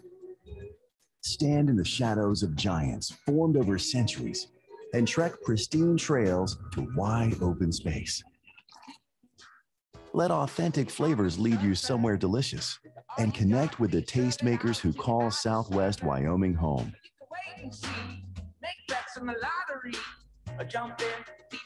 Venture out on two wheels to see this land for yourself, where memories are measured in miles explored.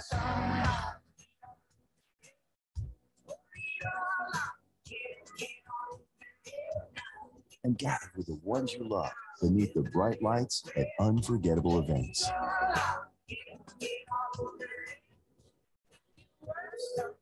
Here, you can get off the grid with the people that matter most. Travel safe and stay informed while adventuring responsibly in Rock Springs and Green River.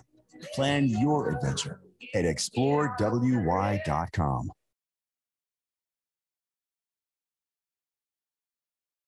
I love that.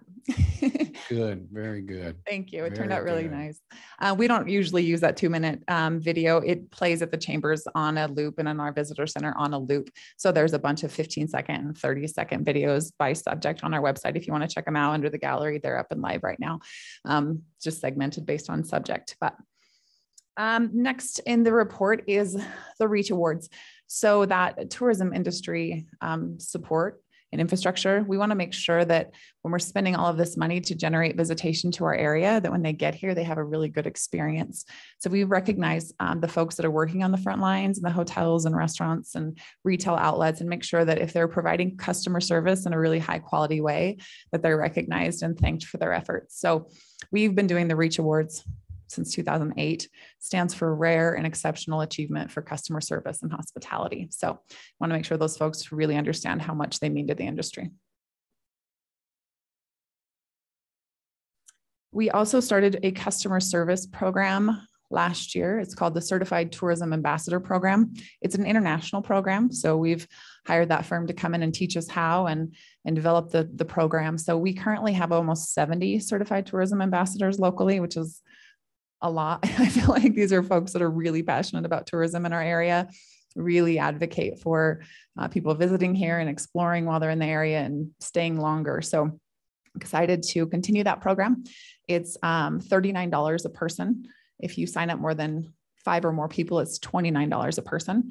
It has two components. One of them, one component is to teach you about the area, uh, make you an expert on tourism attractions in the area and what makes this place special. And the other component is just really customer service skills, teaching people how to provide really high quality customer service.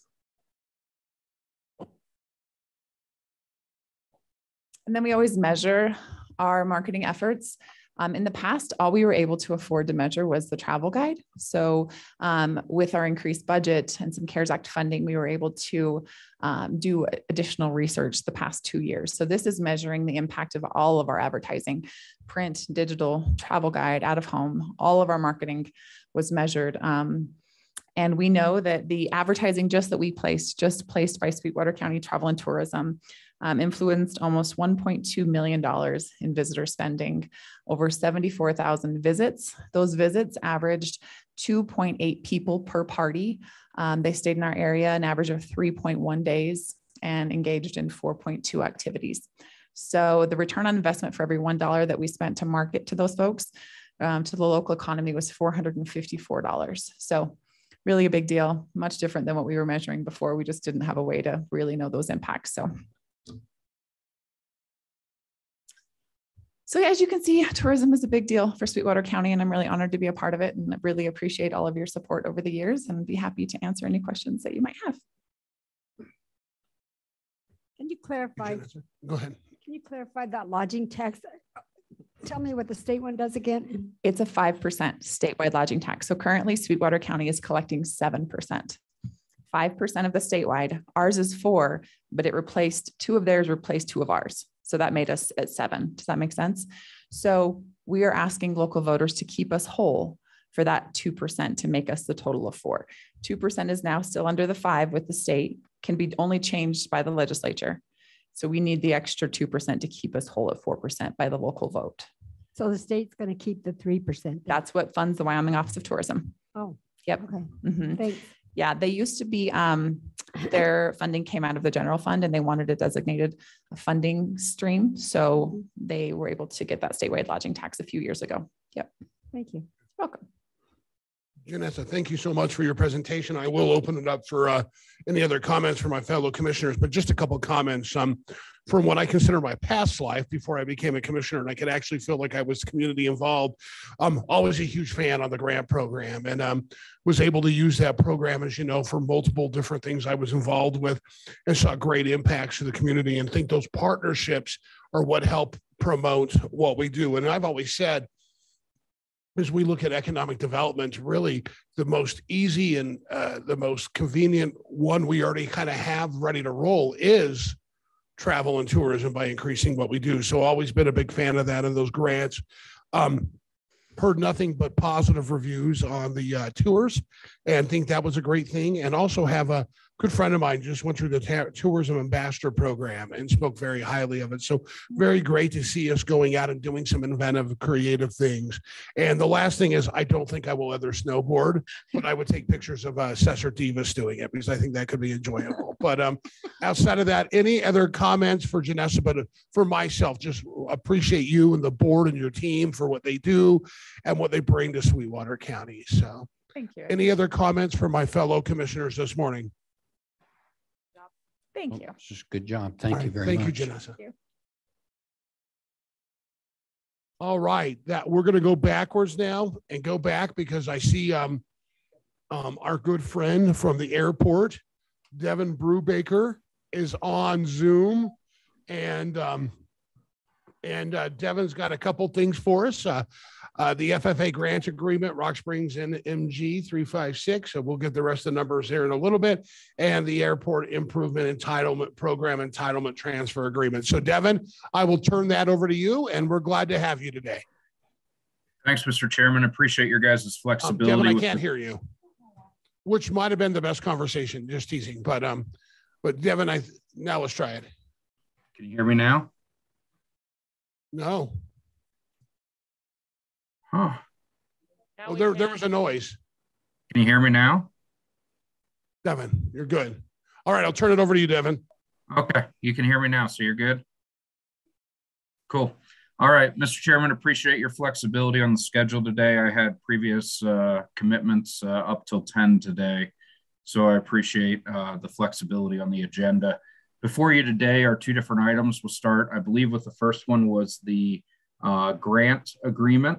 Um, this grant agreement is a Federal Aviation Administration grant um, totaling um, 20,000 um, let me make sure I get the right number for you 20,609, I believe it was. Um, and this is a uh, American Rescue Plan Act grant uh, that is to be used for concessions relief at the airport. Uh, uh several months ago, the, the Board of County Commissioners approved a ARPA grant for the airport, and it was for our operational um, costs related to COVID. Uh, this is the second component and final component of ARPA for the airport. And this money is granted to the airport to provide relief to our concessionaires, our rental cars, our, um, our vendors, our advertisers, um, to be able to do uh, or provide them relief on their rents and the minimum revenue guarantees at the airport. So we um, would kindly ask for your approval on this grant so we can execute this and provide the relief that uh, Congress uh, outlined to our tenants and our concessionaires. Thank you, Devin. And um, quick question for myself, Devin. Is, is there, this says there's no match that we're required. This is just a grant straight out with you guys, correct? This is 100% federal, no no local match. Okay. Fellow commissioners, any other questions? Mr. Chairman, if I can real quick, uh, yes. I forgot to mention that this is a e-signature document. So if approved by the commission, it'll go to Chairman Smith for his signature in his email. And then once he signs it, it'll go to your uh, county attorney for his signature before getting sent over to City of Rock Springs for their signatures. Um, Devin, if you'll hold one second, I do need to double check with a uh, chairman uh, uh, with our county attorney John DeLeon that would be my signature today because I'm the acting chairman today, correct? Okay. Devin, that would be me then. I, Mr. Chairman, unfortunately, I'm unable to change it. It's a federal document locked in by the feds. I can't go in and have it changed at this point. So I'm going to let uh, just clarify with John DeLeon. Are we okay with that? That means uh, Chairman Smith isn't here. You got to we got to look, Jeff. So I'm um, Devin. So go ahead. I mean, we're gonna have to have we're gonna have to have it so that it's your signature somehow. We can't. Uh, uh, Chairman. Uh, we speak into mic so Devin can hear you. Chair, Chairman Smith is not present today, so we we can't have his signature.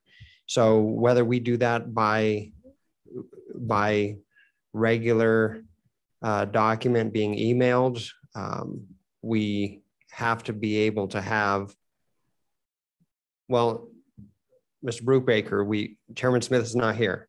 No, I understand. I'm shaking. The reason I'm shaking my head is that's not possible. So we'll have to work through that. It's, I, I, I can't control and force the FAA to do something. We're locked Mr. in by their Mr. policies. And, and I can Chairman. Yes, Mr. Uh, Wendling. Uh, Mr. Brubaker, uh, what's what's your uh, deadline on the grant that has to be submitted? I'm looking right now um, to see what the signature requirement is. I apologize for the confusion. No, it's not, um, this, this is not your fault. This is, uh, yeah, just this was an emergency during the night, so. Uh, February 25th, 2022. Uh, so February 25th is the hard deadline to sign this or we have to turn the money away. Uh, Mr um, hang on us for a second. Uh, Mr. DeLeon. I mean, the, the difficulty is, of course, we we have to have the approval of mm-hmm. somebody who is present. Uh, Chairman Smith is not here, and so my suggestion would be to have uh, a motion to approve, uh, allow the uh, chairman uh, to sign any uh, appropriate documents. Um, and we can proceed from there. If we need to discuss different ratification processes, we can do that uh, um, for next for the next meeting. In other words, make a motion for that it be approved, that the chairman be allowed to sign any and all documents, uh, and then we can move forward and uh, we'll talk with Mr. Brubaker. I understand that he's saying that everything is impossible, uh, but we'll, we'll see if there's any mechanism to accomplish that. If not, then we can get a signature and we can accomplish any ratifications that we need to accomplish uh, next week. Sounds good. Does that work for all parties? Does that realize- get this, does that get this document signed by the twenty-fifth? By Jeff Smith, by Commissioner Smith, or do- is that still a non? That's, that still can occur. And then we can, we will make a motion to authorize uh, chairman to sign, which in this case, uh, it'll be Commissioner Smith. And then at the next meeting in March, we'll ratify the document Yeah. with Commissioner Smith's signature, Devin.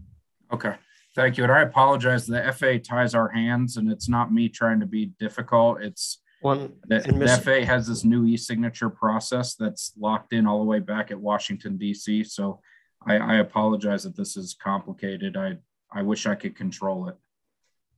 And I think we can still have that phone call um, to see um, if there's any way to ex- expedite it rather than just saying that, you know, hands are tied, but will one, one road or the other can get it accomplished. Yeah, we, we, we've got an avenue now and we can check on another one, Devin. Okay, I appreciate it.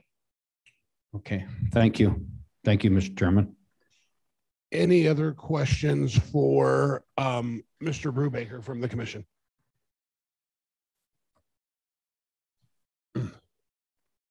With that being said, uh, fellow commissioners, do, uh, is there a motion to make? Mr. Chairman. Go ahead, go ahead, Mary. Mr. Chairman, I would make the motion to approve uh, the grant, the assistant volunteer fire, no, whoops, wrong one. FAA grant agreement. uh, And authorize the chairman to sign. Okay, does that work, John? Yes. Do I have a second? Second. Seconded by Commissioner Schoenfeld. All in favor? Oh, sorry, any discussion? With no discussion, all in favor, vote with an eye. Aye. Aye. All opposed, same sign. Motion passes and we'll work through the process uh, with Daily, uh, Attorney DeLeon and J- Devin Brubaker. So, all right, Devin, what's next? So the next document, and I, I guess I'll start out with this one is a different type of document that will allow a handwritten signature um, or a digital signature, but it can be signed by anybody at the commission um, level. So we won't have the same complications with this one. This is a transfer of Airport Improvement Program entitlement funds to Central Wyoming Regional Airport in Riverton. Back in 2020, uh, we received a transfer from Central Wyoming Regional Airport for. Am I needing to stop? I'm seeing some hand signals. I No, you're good. apologize. No, we're okay. We're talking. All right. just Had some guests show up, Devin. All right, sorry about that. Um, so this is a transfer of those funds back. So back in 2020, uh, Central Wyoming Regional Airport in Riverton transferred a million dollars of their entitlement money uh, to us to fulfill a project for our snow removal equipment building. And this is simply us transferring the funds back using our 2022 entitlements. This is administrative transfer. There is actually no money changing hands. Um, this is all done at the federal level. This agreement simply states that we are okay with the federal government giving Central Wyoming Regional Airport our entitlements for 2022. Um, and once again, that's just paying back, if you will, the entitlements that they transferred to us in 2020. We do this quite frequently um, within the state. Sometimes airports don't have a project in a specific year, but the funds, if they're not used, they're lost. So it's an opportunity for us to transfer funds to other airports that have larger projects. And then we're able to pay that basically pay back in future years with future entitlements. So um, this is done regularly with the FAA um, and throughout the state. And at this point, somewhat of a formality that we're just having to say that we agree we're going to pay them back as we agreed to two years ago. Any questions for Mr. Brubaker? Seeing there are no um, other questions, um, do we have a, can I get a motion regarding this present, um, um, this grant? Mr. Chairman, I would be Yes. happy to make that motion And that would be, and do authorize chairman to sign, acting chairman or whatever. I have a second? Second. Seconded by uh, Commissioner Schoenfeld. Any discussion? All in favor, vote with an eye. Aye. All opposed, same sign. Motion passes, and we will get that stuff signed for you, Devin, and we'll work through these processes. Mr. Chairman, as airport liaison, I would like to ask Mr. Brubaker if he has anything to comment on our meeting today at one, which I'm not going to be able to make. Um, Mr. Chairman, I, I honestly don't have anything to share um, outside of my update I provided a couple weeks to you all. I will be back, I'm sure, around April to do another airport update, um, but nothing, uh, nothing to of specific note to, to share today. Um, and Mr. Chairman, I'll reach out to uh, to John DeLeon, Mr. DeLeon, uh, regarding that grant so we can get that addressed. I appreciate your schedule flexibility and your understanding on the uh, complications with that uh, e-signature. All right, once again, we'll um, mark in the calendar that you do appreciate us and our flexibility. And uh, we are glad we were able to get you in today, Devin. And I will be taking you up on a tour and an update here soon. So um, up there as you've offered. So, oh, thank you very much, Devin. Keep up the great work and appreciate all you're doing at the airport during this time. So, All right, have a great day, everybody. Thank you, Thank you. Devin. You Be too. safe. Thanks. all right. Up next, I, we're we're ahead of schedule, but we're going to keep rolling if that's okay with everyone. Um, we have um, the Conservation District 2021 annual report, and we'll have them come up front. And before, as they're coming up front, I want to, uh, as they you guys can come up, I just want to comment that um, it's actually been kind of a joy to be the liaison of uh, the Conservation District over the last year. Um, as a commissioner, I can tell you my weakest area was probably public lands when I came into office. And um, this has been a great group to be part of for myself to uh, expand my knowledge and have a better understanding of public lands and conservation. And I really appreciate um, Tom and Dwight and Karen and the board for all the work that they've done and um, and being patient and, and kind of uh, mentoring and teaching me a little bit. So I'm really excited to hear the annual report today. So I'll turn it over to you guys. Make sure you introduce yourself as you talk into the mic, who you're with, and anyone with you. So. Thank you very much. Uh, my name is Tom Burris. I'm the chairman of the Sweetwater County Conservation District. And um, uh, we used to try to come in before, before COVID, we used to try to come in once a quarter and give you guys a, a little briefing about where we're, what, what, what all's going on with the district. Uh, kind of haven't done that for a while. And uh, uh, since we had a change on our board and you had a change in your board, we don't have our, our spokesman that we had for several years was Mary Tillman. Uh, so this is my first briefing to you guys. So we will uh, uh, see what we can get done. I brought Karen Pacini and Dwight Bliss with me today. Karen is our office manager. Uh, Dwight is uh, is the um, uh, urban representative on the board, and he handles all of our technical stuff and and uh, um, keep tries to keep us operational with with the electronics and the uh, uh, help on the web pages and and just everything uh, we do technically. He's uh, he's an instrument, a, a big instrument for getting that done. Uh, we start off our uh, uh, our presentation today with just a with a with a PowerPoint. We have that up. Okay. Okay. Uh, that is um, just the state statute that gives us guidance and uh, direction of what of, of the things we are supposed to be doing. Uh, my comments may not fit with the slides all the way through here, uh, but we'll um, we you know it might bounce around a little bit.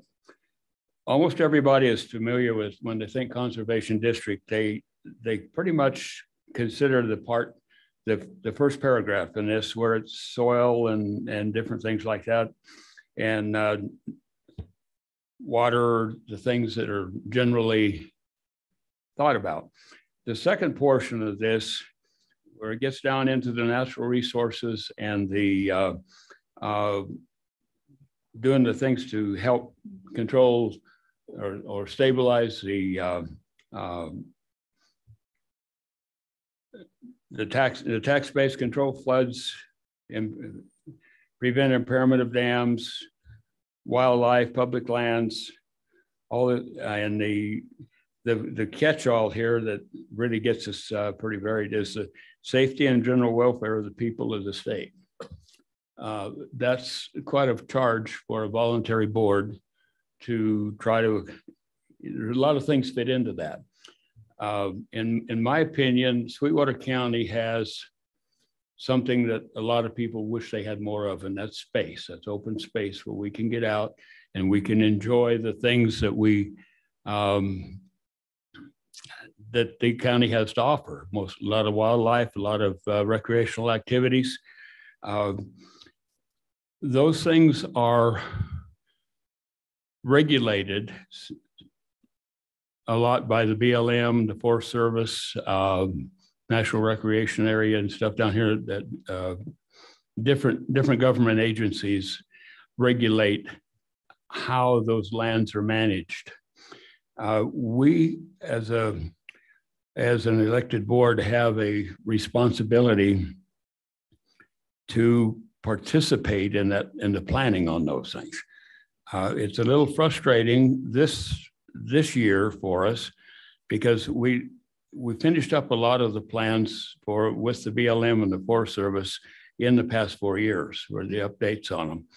Well, this year we get to do it all over again because all those plans are being revised uh, and the revisions, it, it, it, they all have to be addressed again. Like we just about everything we did in the last four years on the land planning's got to all be done again with this administration. It's a little frustrating and it's uh, um, time consuming, takes a lot of our time, but we will, um, in order to do that, in order to do a lot of this planning, we had to have in order to be invited to be a uh, um, cooperating agency with the federal programs, we had to have a federal or a, a land land a, a, plan how we were going to do things. So we a few years ago, I was actually about 15 years ago, Mary was in, involved in it and the whole board's been involved in it. We developed a land and resource use plan and policy.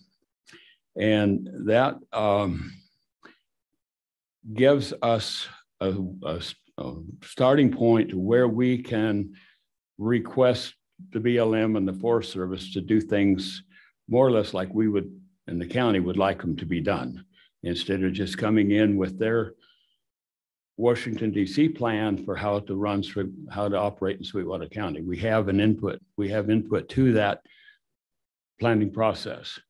Um, it gets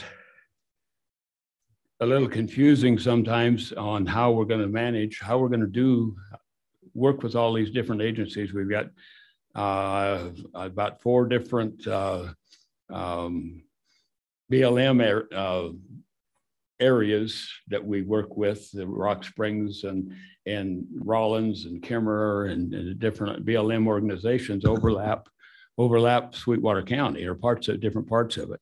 So it's uh, there's a lot of planning that we have to participate in, a lot of meetings they have to go to, to uh, to make sure that we have um, make sure that Sweetwater County is represented in those plans.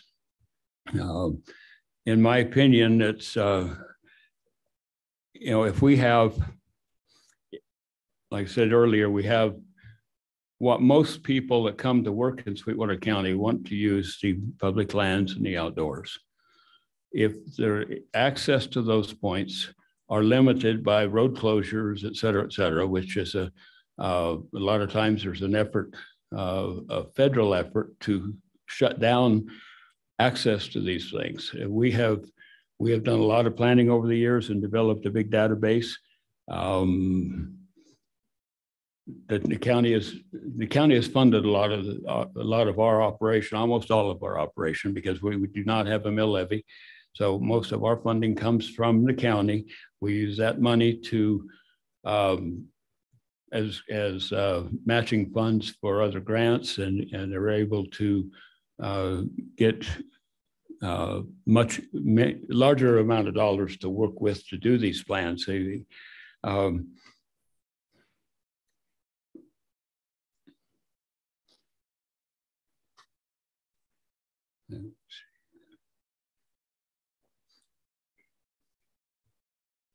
in order to be able to comply or to cooperate, we had to have the plan. We did, did develop as it was back in oh, oh, in the mid oh five, oh six along and through there is when we started that.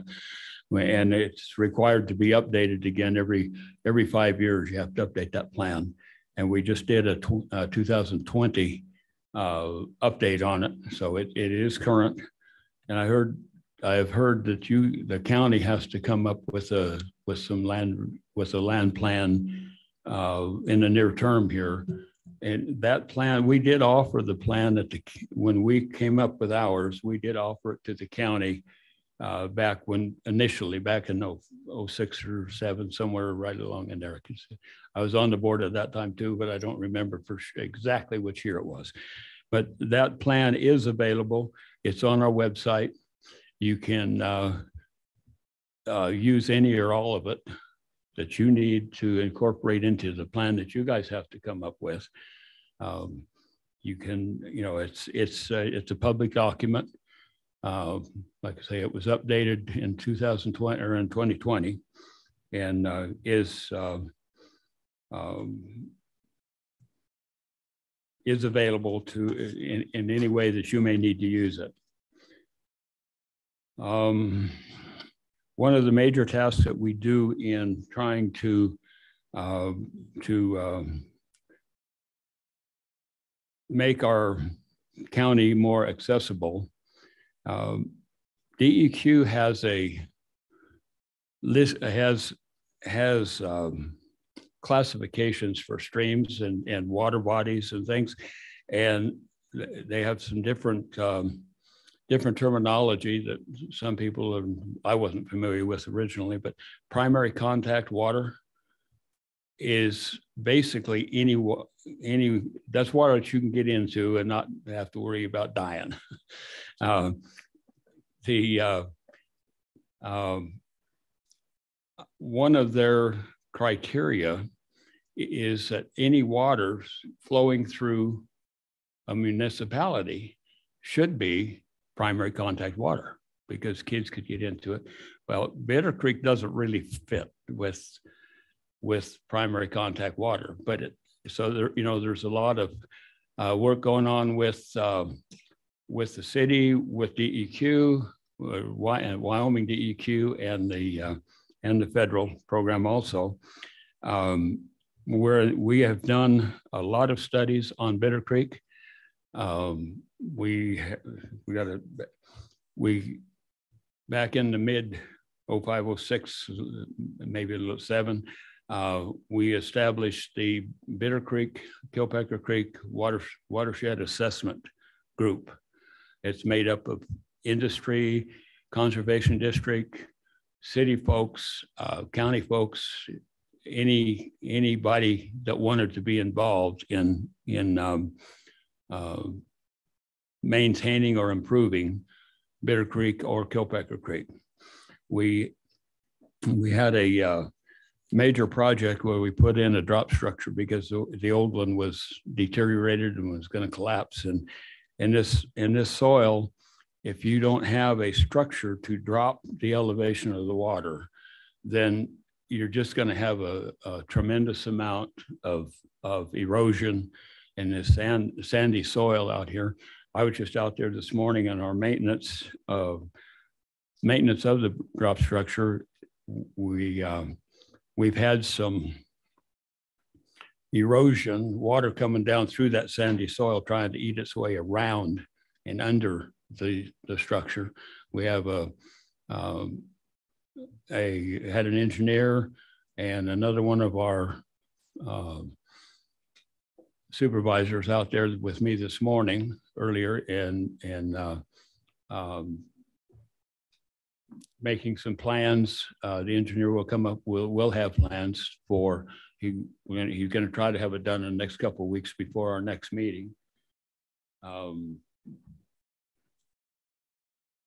that's an ongoing process. Uh, we, we did allow for maintenance of that structure in our budgeting. And um, uh, we have, uh, it'll be a fairly, a fairly pricey repair or addition. I guess you could call it a repair, but it's, it's, it's doing more than what the original structure had in it uh, to try to stabilize that soil. Um, it is very difficult when to stabilize the bottom of this basin because it's all it's the bedrock is a long ways down in a lot of in a lot of it.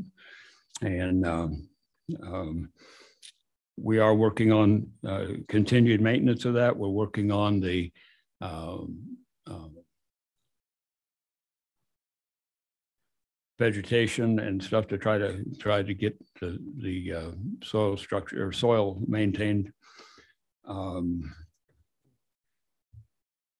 okay, that took care of the drop structure portion. Okay. Oh, we, Did you talk about the letter that was sent? The participation request? in January? oh, no, I did not. Yeah. Just that they Okay. received it. So you can come on over and if you want Oh. to make a comment on that. Okay, I- yeah, uh, in January, we sent out a request letter. This is a project that we're working on. Um, with our, we updated our Bitter Creek watershed-based plan. It was finalized in January of twenty twenty-one. So we have management measures within the plan that we need to meet or that we would like to, to try to improve the water quality in Bitter and Killpecker Creek. So we're just asking for county participation from different county departments, possibly the county engineer to help us, or the GIS planning division here that could help us um, get some information on um, septics or chloride impairments or E. coli bacteria. There's pet waste receptacles. There's like 13 or 19 management measures within the plan that we'd like to try to work on. So we're looking for participation from the county, city, landowners to help us um, go through that. This is through 2027. So we've got five more years. So just to let you know what that letter was that we submitted. Thank you, Karen. Mhm. We talked about. Um, Yeah, we're going to go up to.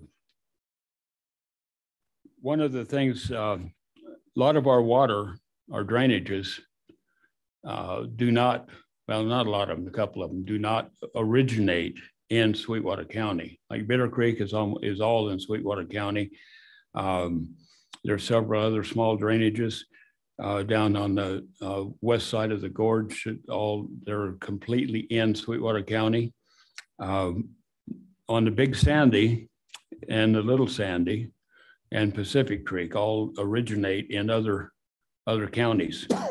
Uh, the, all, all three of those have had or currently have some sort of a listing on them. Uh, Bill, Bitter- uh, Big Sandy was just recently listed for E. coli, but it's, it's nor, it's up in, in, in Sublette County where the E. coli is originally, you know, it's, uh, the creek, Big Sandy is listed below the confluence of Squaw Creek. Now, Squaw Creek is up above the fish trap thing they built uh, a couple years ago on the Big Sandy.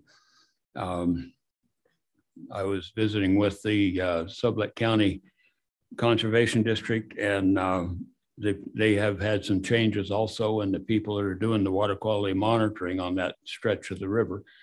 And, um, but they are, um, we will be working with them and we'll be working with the DEQ, the Wyoming DEQ on, on what has to be done up, or what can be done up in that area. Most of that will be with Sublette County because it, the, uh, the other creek is in, is in Sublette. Um, We have, um, Big, uh, Big, Sandy, no, Bitter Creek.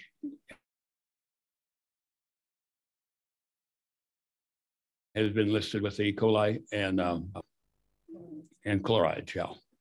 Uh, Back up on, on the northern end, the little, little Sandy is also listed for sedimentation. If you can imagine sedimentation in a Sandy River. Uh, anyway, I don't know what they're going to do, what we're going to, you know, there's, there's an effort to try to get the standards changed. You know, like one size fits all with masks, one size fits all with rivers, right? Because all of our soil in the US is all the same. So anyway, it's some of our some of our water is in Big Sandy and in Killpecker and uh, there, there- there's going to be sedimentation in those, in the water, in those channels. So we have to work with the environmental people to try to get a baseline on what, um, what the water can be. And we want to make it as good as it can be, but we can't make it distilled water. It- it's- So uh, we have been, uh, uh, okay, that's, that takes care of most of our water quality. We have been, uh, uh, oh, I wanted to come back. We have, we, I said before, we started a, uh, what we call the BK WAG. It's Bitter Creek, Killpecker Creek Watershed Assessment Group. We have uh, a meeting usually every April. And uh, for all of the folks that have been participating in that or anybody interested in the creeks like what uh, Karen was just talking about. Uh, we would encourage as many of you as can to participate or to come and listen to, to that uh, BK WAG meeting. Uh, we haven't set the date yet, but it'll probably be about the second week in April. That's usually when it, usually when we have that. And it's normally over at the White Mountain Library in Rock Springs. Um,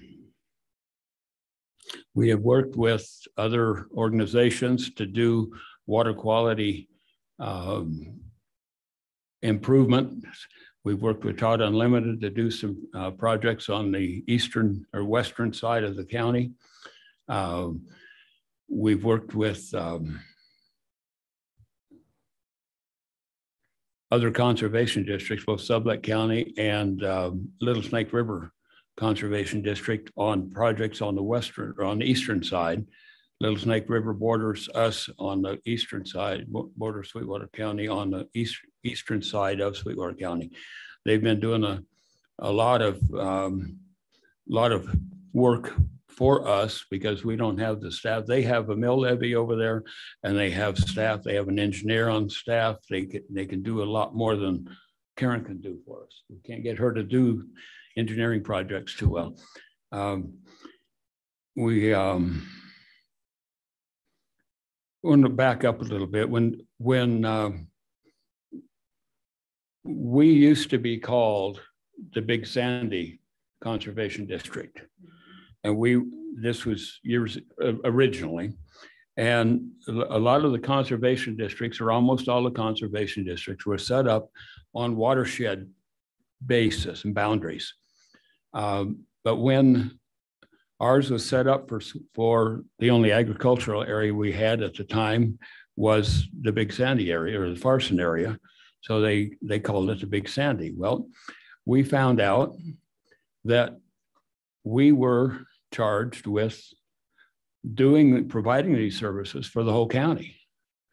Well, back about 15 or 16 years ago, maybe 15, anyway, we moved, we decided that we couldn't function as a big Sandy and do everything we needed to do for Sweetwater County. So we moved our office to Rock Springs. And started trying to operate as a Sweetwater County Conservation District instead of a Big Sandy Conservation District. Um, We didn't get any allocation or any additional people to do any of that with, to help with that, uh, with that expanded area. We made an agreement with, uh, entered into an MOU kind of with, uh, Little Snake River because they had a, a, a operational group with their engineer over there. And, uh, they were able to do a lot of projects on the eastern end of the county. And that, uh, they used our, we gave them about twenty thousand dollars because we did not have any way to service the ranches and operations out there. We gave them about twenty thousand dollars a year, which they normally leverage with grants and other funds. I don't know where they get them all, but uh, into over two thousand, over two hundred thousand dollars worth of projects being able to be done with the twenty thousand dollars that we we that we pay them. Uh, they have they have done a really good job of helping us serve the the um, constituents out on the eastern part of the state. Um,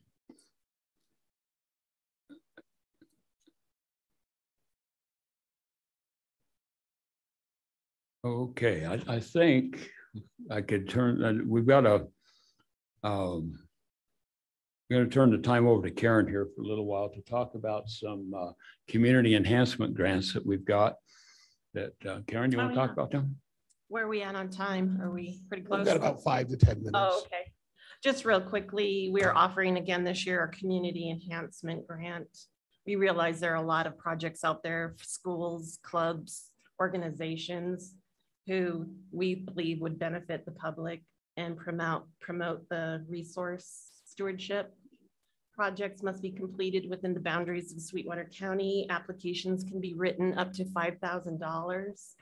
Uh, The date for applications are due April 4th.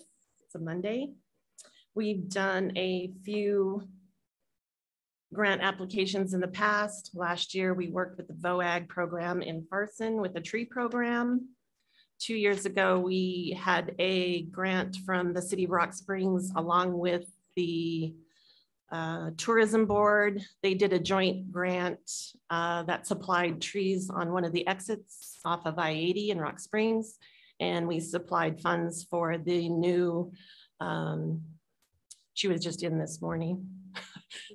Yeah, yeah, Travel and Tourism Board, we, they purchased some brochures. So we think that's an important program and it really does help uh, the community.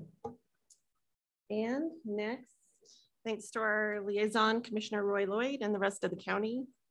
Uh, Board of County Commissioners, thank you for all your help and support over the years. We really appreciate it.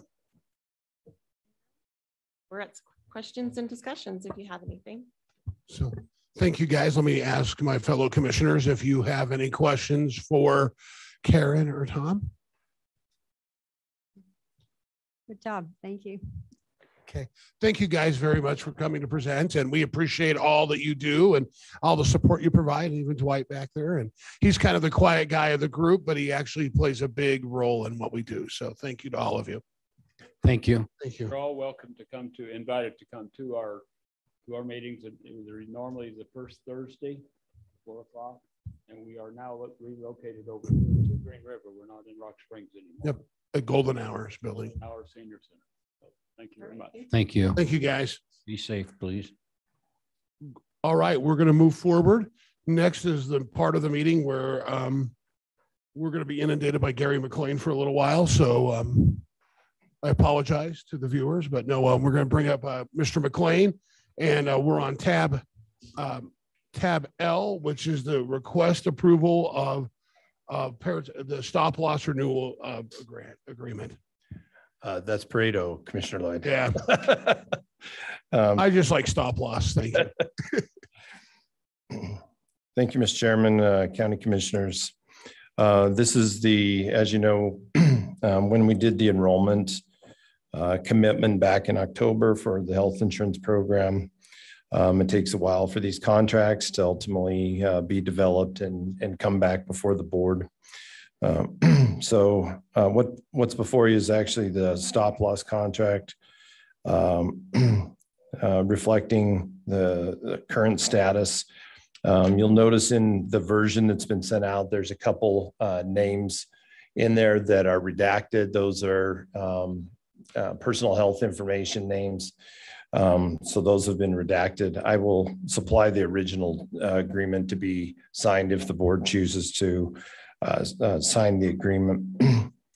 As you recall, um, yeah, we had a couple tough years and uh, some large stop loss claims, uh, which uh, forced us to look at some alternatives. Um, and one of those is with Pareto, which is um, basically similar to the WARM and LGLP uh, insurance for stop loss. It's it's essentially uh, pooled resources uh, amongst other public entities for stop loss protection. One of the significant things that this afforded us was um, other than the existing uh, lasered claims, uh, those are claims that where there's a known risk. Um, so they they laser those um, at a certain level. Um, and but once those go off, uh, there'll be no more lasered claims and there's fixed um, agreements in terms of the amount of growth uh, that can uh, occur in terms of the stop loss rates. And um, this was a good uh, strategy for us to control some of the costs associated um, with, with stop loss. for those of you that aren't familiar, stop loss insurance um, we self-insure up to $200,000. We pay all the claims out of our insurance fund up to $200,000. Any claims that go over that $200,000 threshold um, ultimately are paid by the stop loss uh, insurance provider. Um, and as you know, um, with some of the uh, large claims we've had in the last year, there's been um, a larger number of claims that have penetrated stop loss as well as uh, a larger dollar amount uh, of claims that have penetrated stop loss. And um, so um, essentially, um, what we're requesting is uh, approval from the Board of County Commissioners and authorization for the chairman to initial and sign uh, where appropriate. And I'd be happy to entertain any questions from the board at this time. Okay. Thank you, Mr. McLean. Any questions for my fellow commissioners? Yes. Yes, Mr. Chairman. All right, go ahead, Ms. Tobin. Does this cover a stop loss for any and all employees who might exceed the two hundred thousand? Yes, it's for everybody under our plan. So um, keep in mind that the plan is, is roughly 500 people, 1,000 covered lives. Those aren't just county employees, those are employees of all the component units also. So this a plan um, uh, applies and the stop loss coverage applies to all of those people also. Any other questions? All right, seeing no other questions, um, what do we want to do with the 2022 Pareto HCC stop loss agreement? Um, and allowing the chairman to initial and sign as needed.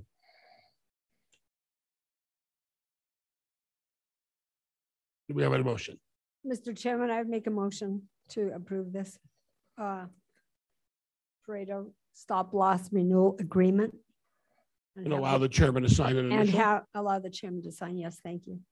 Great. Do we have a, thank you, Commissioner Thoman. Um, do we have a second? I'll second. Second by Commissioner Schoenfeld. Any discussion? With that be, with no discussion, we'll move on to a vote. All in favor with an aye? Aye. Aye. All opposed, same sign.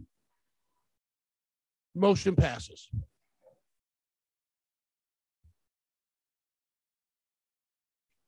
All right, we'll move on to tab number M, which is a request approval to restaff positions in accounting. And that will be by, uh, continued by, uh, Mr. McLean, then also Clerk Lane. I'll turn it over to you guys.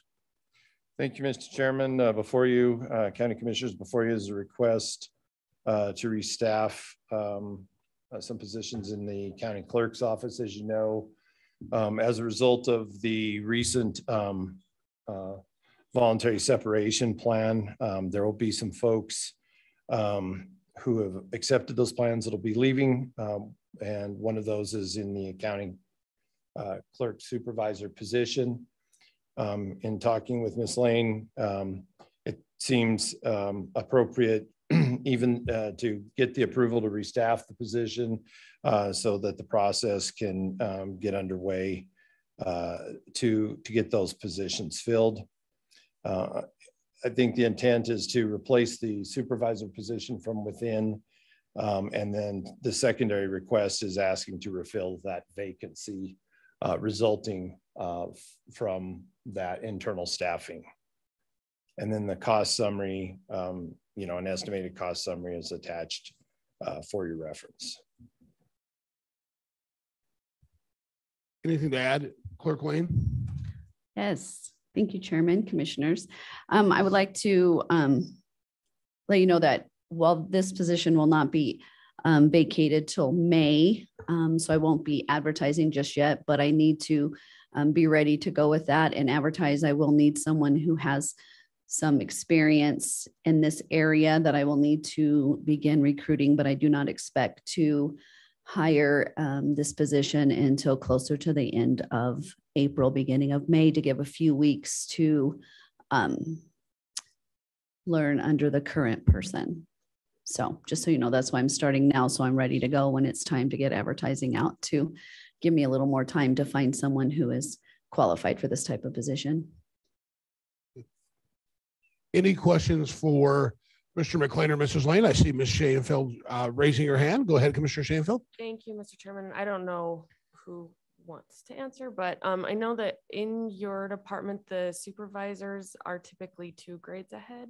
right? Yes. This one is only one. Oh, no, it should be two. Is there a reason for that? So it should be cl- grade twenty? Yeah, they're usually two.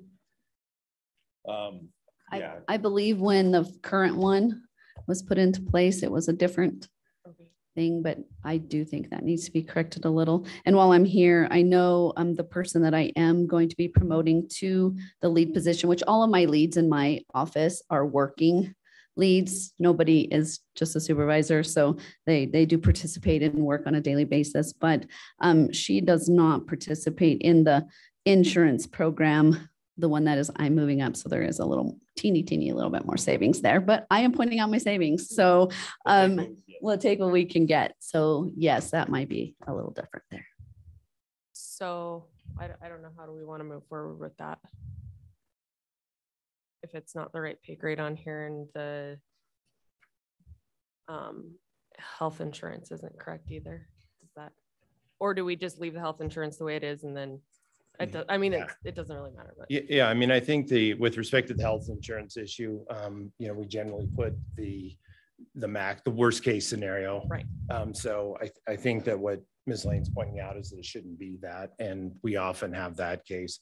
And, and the second issue, um, is that I, you know, be happy to, to discuss the history of that, but I don't think that, um, I don't think there's, um, any, um, anything incorrect about the pay rate um, or about the evaluation of the position, but we'd be happy to take a look at it. So if we want to take a look at that between now and the time that the position is filled, that would, that'd be fine.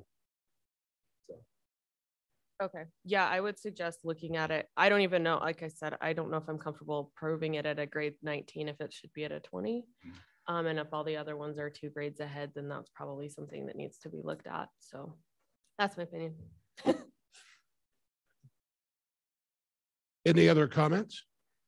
Mr. Chairman, Yes, Mr. uh, Commissioner Wendling. um, Mr. McLean, Clerk Lane, is this request basically to start advertising, isn't it? It's a restaff. Yeah, it's a restaff, It- but but- we will be advertising soon. Advertising to restaff.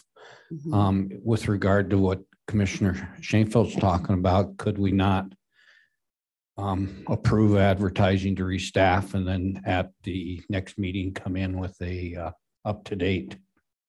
Or we can wait till Just next time and bring it all whatever at works for once you. because I have time to do it that, that way it just starts out correctly. Okay, Mr. Chairman, I make a motion that we postpone this uh, restaffing of the accounting clerk supervisor position, just that one only, not the other one. Okay, So which one are we postponing, just to be to the specific? next meeting, we're postponing. No, but I mean, which, which one of the two positions? The specific- accounting clerk supervisor. Okay, I'll second that. any discussion? So the motion is to um, postpone the, um, the, the vote on the accounting clerk supervisor. All in favor? Uh, Point of with order, aye? point of order. Yes. Let me ask uh, our assistant county attorney, do we have to say a date for postponing? Would Do I not, need to? do not have to say a date, uh, doesn't, doesn't postpone the vote per se. Mm-hmm. Uh, it's, it's just a postponement, can be brought up at the next meeting if there were Thank you. unusual circumstances, could be the meeting after, doesn't need to be brought back to the table. Thank you. Thank you, Mr. Chairman. My apologies for interrupting. No problem. So we'll go back to that. All in favor, um, vote with an eye? Aye. Aye. All opposed, same sign. All right, that position will be um, discussed at a later date. Um, So then let's take a look at the second position, um, just the accounting clerk, one entry level position then. Um, Do I have a motion for that? Chairman, Yes. Which one? I'll go. I'll make a motion to approve um, this restaffing um, request as presented And allow the chairman to and sign. authorize chairman sign. That's Ms. Schoenfeld with a motion and a second. Mr. Chairman, I'll second the motion of. Okay, that would be ch- seconded by um, Mr. Wendling. All, um, any discussion? Seeing none, all in favor, vote with an eye. Aye. Aye. All opposed, same sign. All right, that position does pass. So, Okay, thank you. And I so we'll be looking forward to hearing about that, the, the questions there and clarifying that for the next meeting. okay, and thank you. And I'll also be bringing one with that restructuring that I had talked with you about and talked to Mr. McLean about. Okay, thank you. Okay. All right, um, that brings us to the uh, request of approval in the titles department. Is that right? Yep. Okay, that would be, is the assessor's office. Uh, there's a few of these, so we'll have uh, Mr. McLean and Mr. Davis uh, present the next few items, so. Well done. We, um, so the title position, um, is another position within the county clerk's office. And, um, so, um, similar with the previous one, there'll be a, uh, a vacancy as a result of the voluntary separation program. And, um, um, essentially restaffing that position. Uh, and then, um, filling the entry level position that's here. And we have kind of the cost summary, um, that, um, is in your packet. So it was, it's actually kind of confusing when you look at the actual thing, because it does say, um, it does say titles department, Mr. McLean and Mr. Davis. Um, but it's actually, um, that, yeah, no, this is actually correct. So the title, my Okay, fault. yeah, and I, I think you just. Yeah, I'm looking ahead of Mr. time. Chairman, I yeah, you moved ahead of So- time and I was like, okay. All right, so auto So you already so voted This on is for it. the auto clerk position. So any comments, um, Mrs. Lane?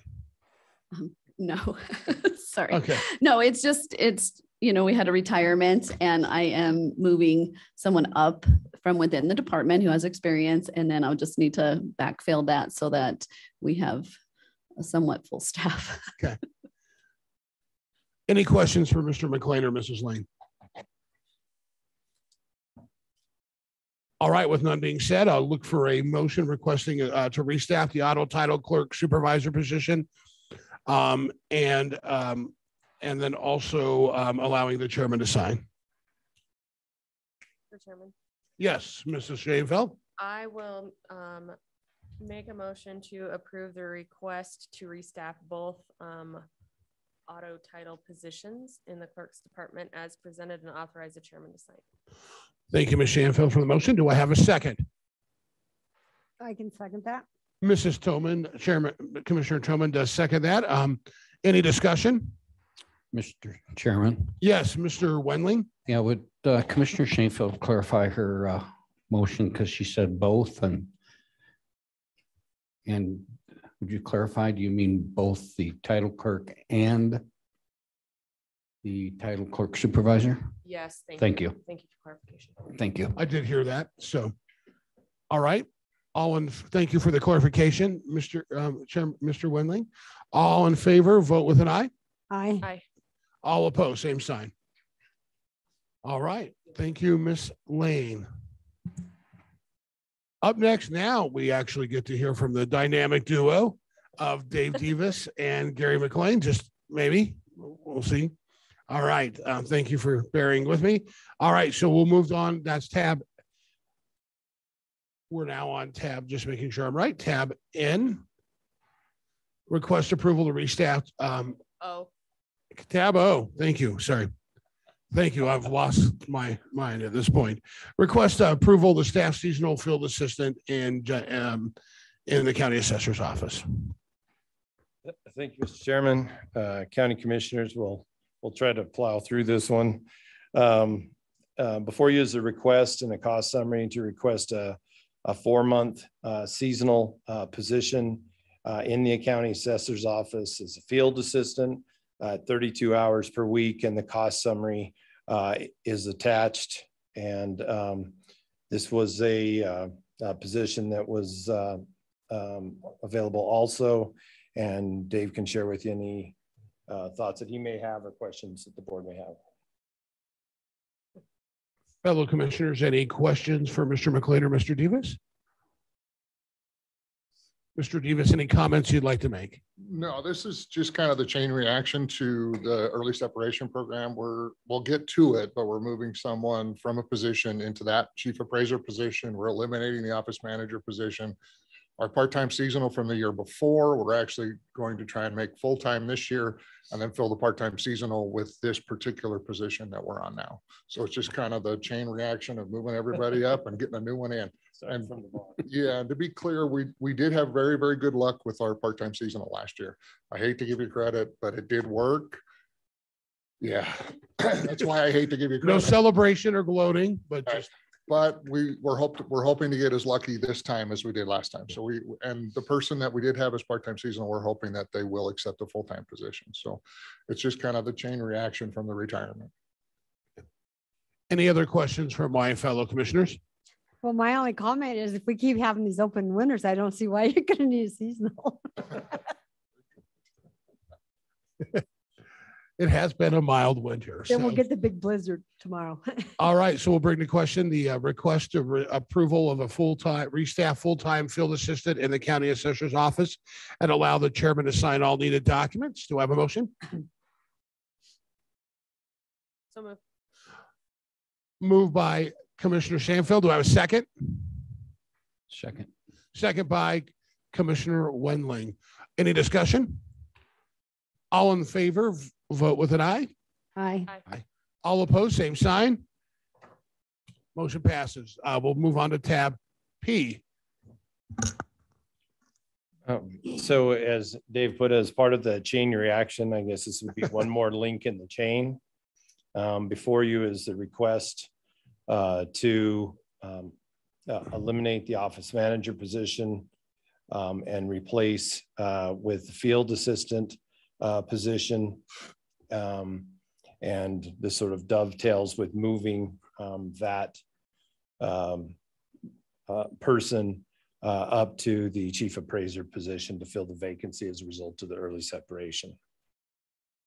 And as you will see in there, there's a anticipated twenty-eight thousand four hundred ninety dollar decrease uh, in, in the cost uh, difference between those two. Mr. Chairman, are we on tab P or Q? We're on tab P. It's tab P. Okay. It's good to clarify. We're minding our Ps and Qs at this point, folks.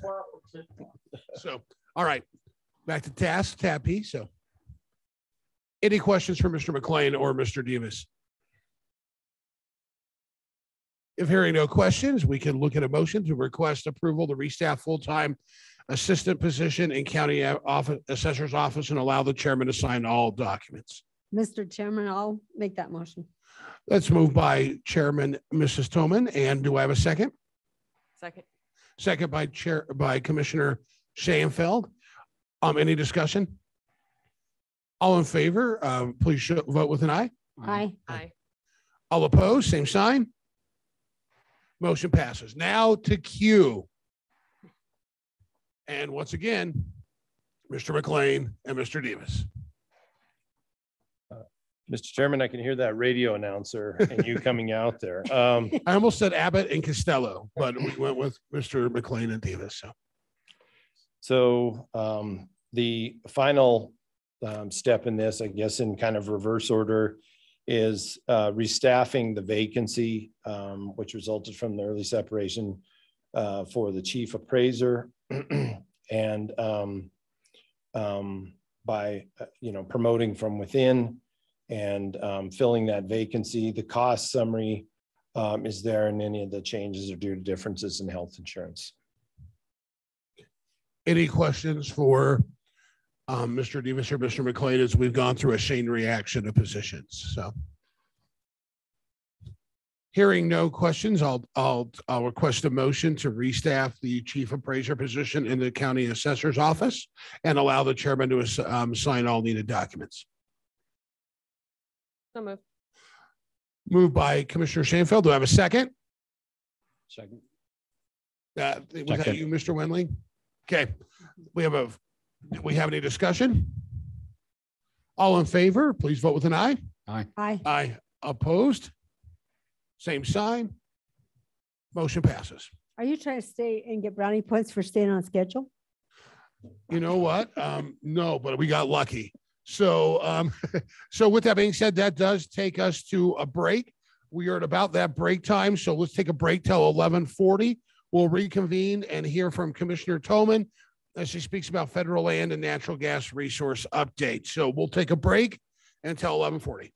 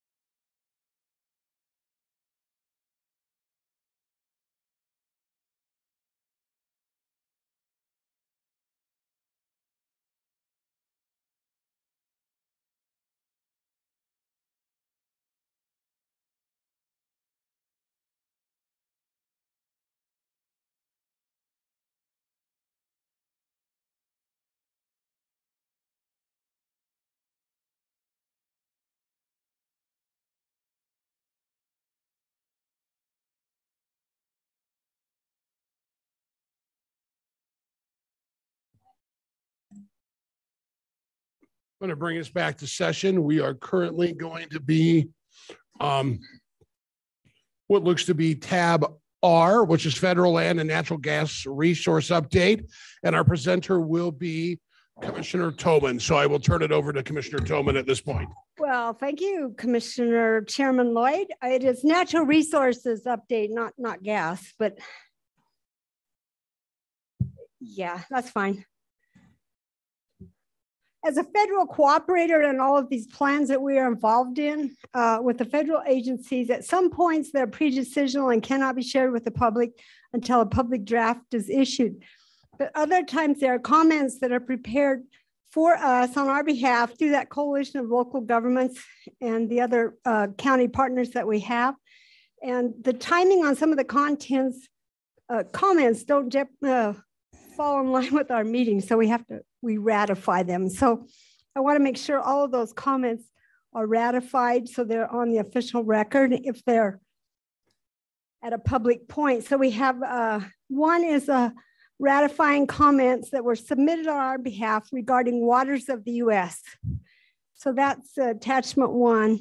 I would just ask for a motion to ratify those comments that were submitted on our behalf. And when they are on a short timeline, I do send them to the commissioners in case there are any concerns that we can address them before they're submitted. So I would ask for a motion to ratify. Mr. Ch- Mr. Chairman, Yes, Mr. Wendling. I'll make a motion to ratify the CLG comments on the waters of the US. Is that correct, Commissioner Thoman, Yes. on our behalf? Yes. Thank you. Motion by Commissioner Wendling. Do I have a second? Second. We have a second. Any discussion? All in favor, please vote with a yes vote. Aye. Aye. It's kind of throwing you off. Okay, all opposed, same sign. Okay, motion passes. Okay, the second letter uh, submitted to the Coalition of Local Governments on our behalf was in regard to the sage grouse. The Bureau, of, uh, Department of Interior and the Bureau of Land Management is reopening all of the sage grouse planning processes that have gone on since 2014, 2015, 2019. Now they want to start all over with an environmental impact statement. So we are objecting to that. We have a state plan, one of the best in the nation. And why are they going to make us redo this whole process? It costs millions of dollars of federal contractors. So that's what the second set of comments are. Now, there will be two public scoping comments on the sage grouse EIS at the end of this month where the public can weigh in and say what they think about sage grouse or it's actually sagebrush habitat uh, EIS because Game and Fish manages the bird the federal agency manages the habitat. Anyway, I would ask for a motion to accept those comments or ratify. Mr. Chairman, Yes, go ahead, Mr. Um, uh, Mr. Wendling. um, question. Okay, go ahead.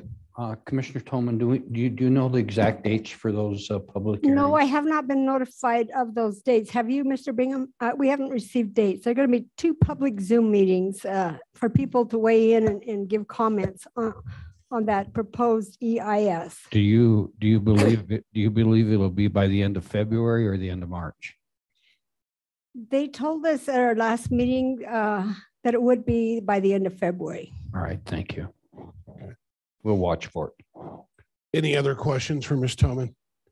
Uh, I have one, uh, Mary. Uh, the, my question uh, would be, um, I know we've seen a copy of these letters and these comments. Um, is there a way to make sure these are available on our website so it's transparent to our, or a way that it's out there so people know what we're ratifying and talking about? So Yes. Sally's yes. Okay. Yes, thank you. Sally has those. Yeah. Okay, thank you, Sally. As long as they're public. I yeah. figured, but I just thought I would double check. Yes. Yeah, and, and I So- think Commissioner Lloyd, Yes, Commissioner Wendling. once, once, when um, Ms. Schumacher, Shoemaker puts out our packets and notifies us that they're ready, the uh, packets are posted on the uh, website for the public to view. If, uh, just a point of information, the only thing that won't be in the packet is anything that might be tied to executive session or that's confidential uh, due to pre-decisional. Is that correct, Sally? Thank Yes, you. and these were submitted to uh, Ms. Shoemaker uh, Yep, when she I was putting the packet together. I caught her at the last hour. I promise I'll never do that again, but then I do it every time.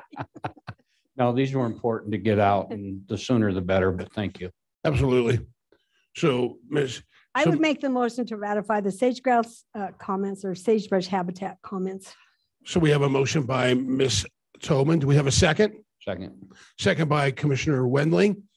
Um, any discussion?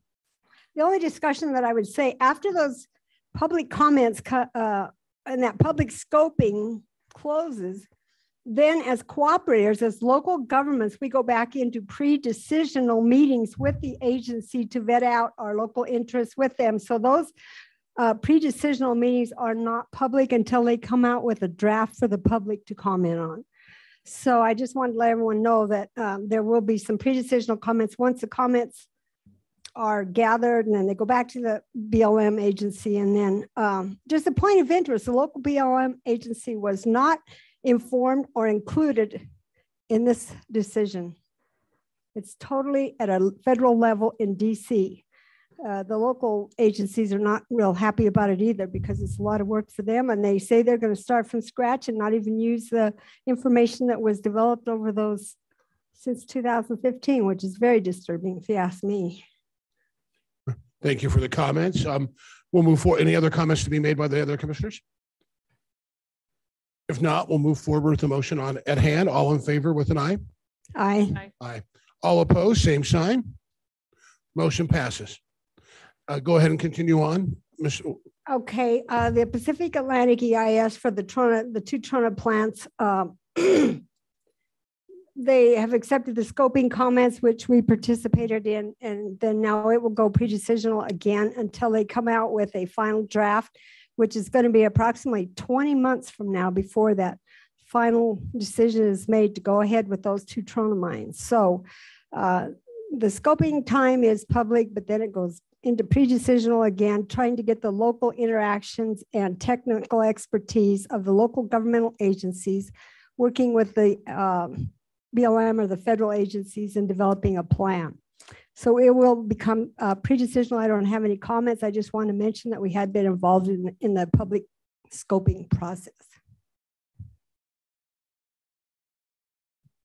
Any questions for Ms. Thoman on that?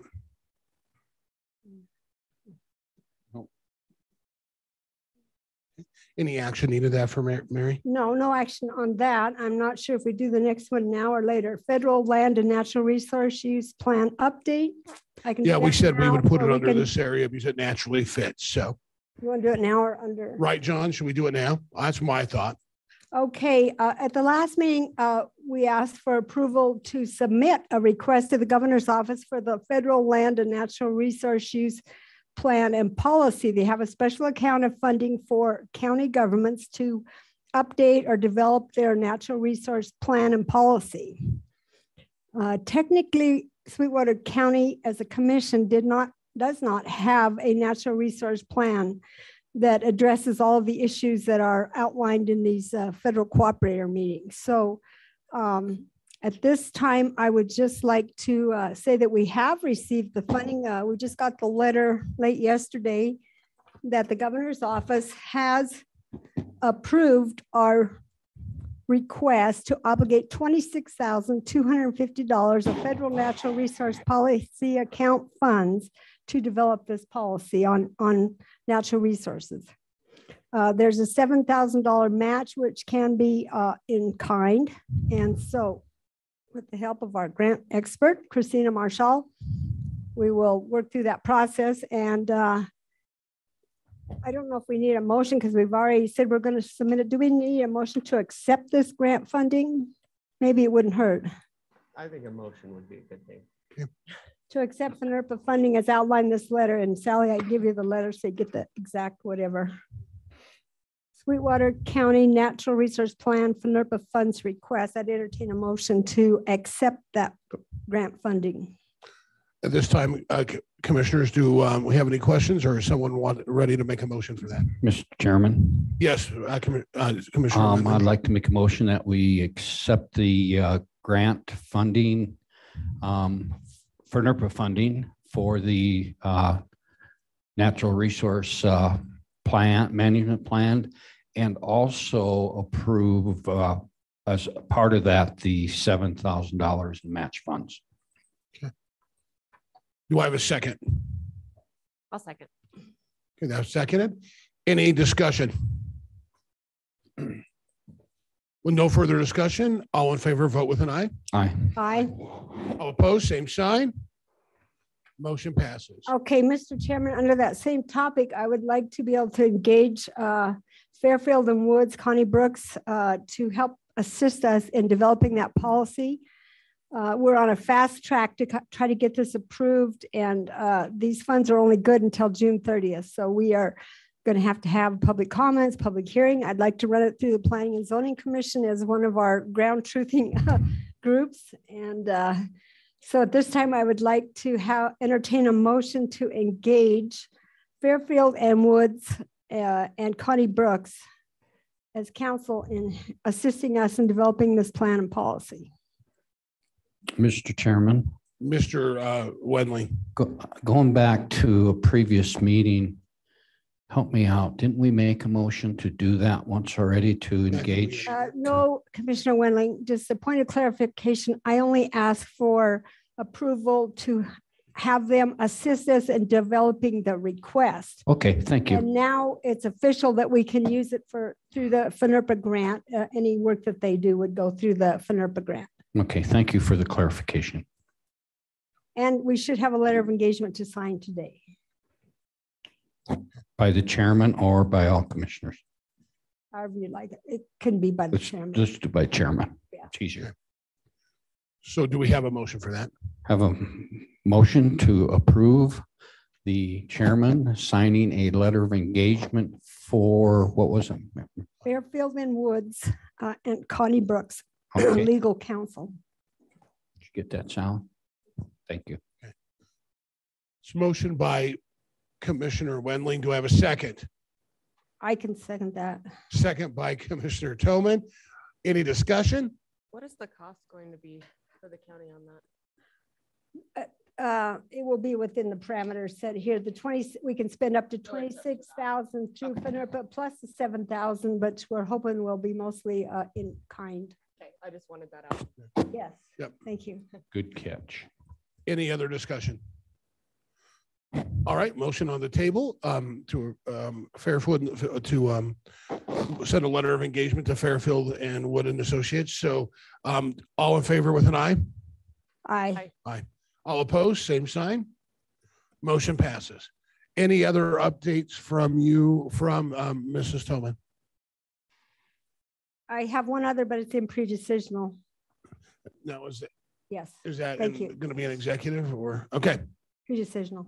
So nothing else under tab R for you, right, Commissioner Thoman? No, thank you.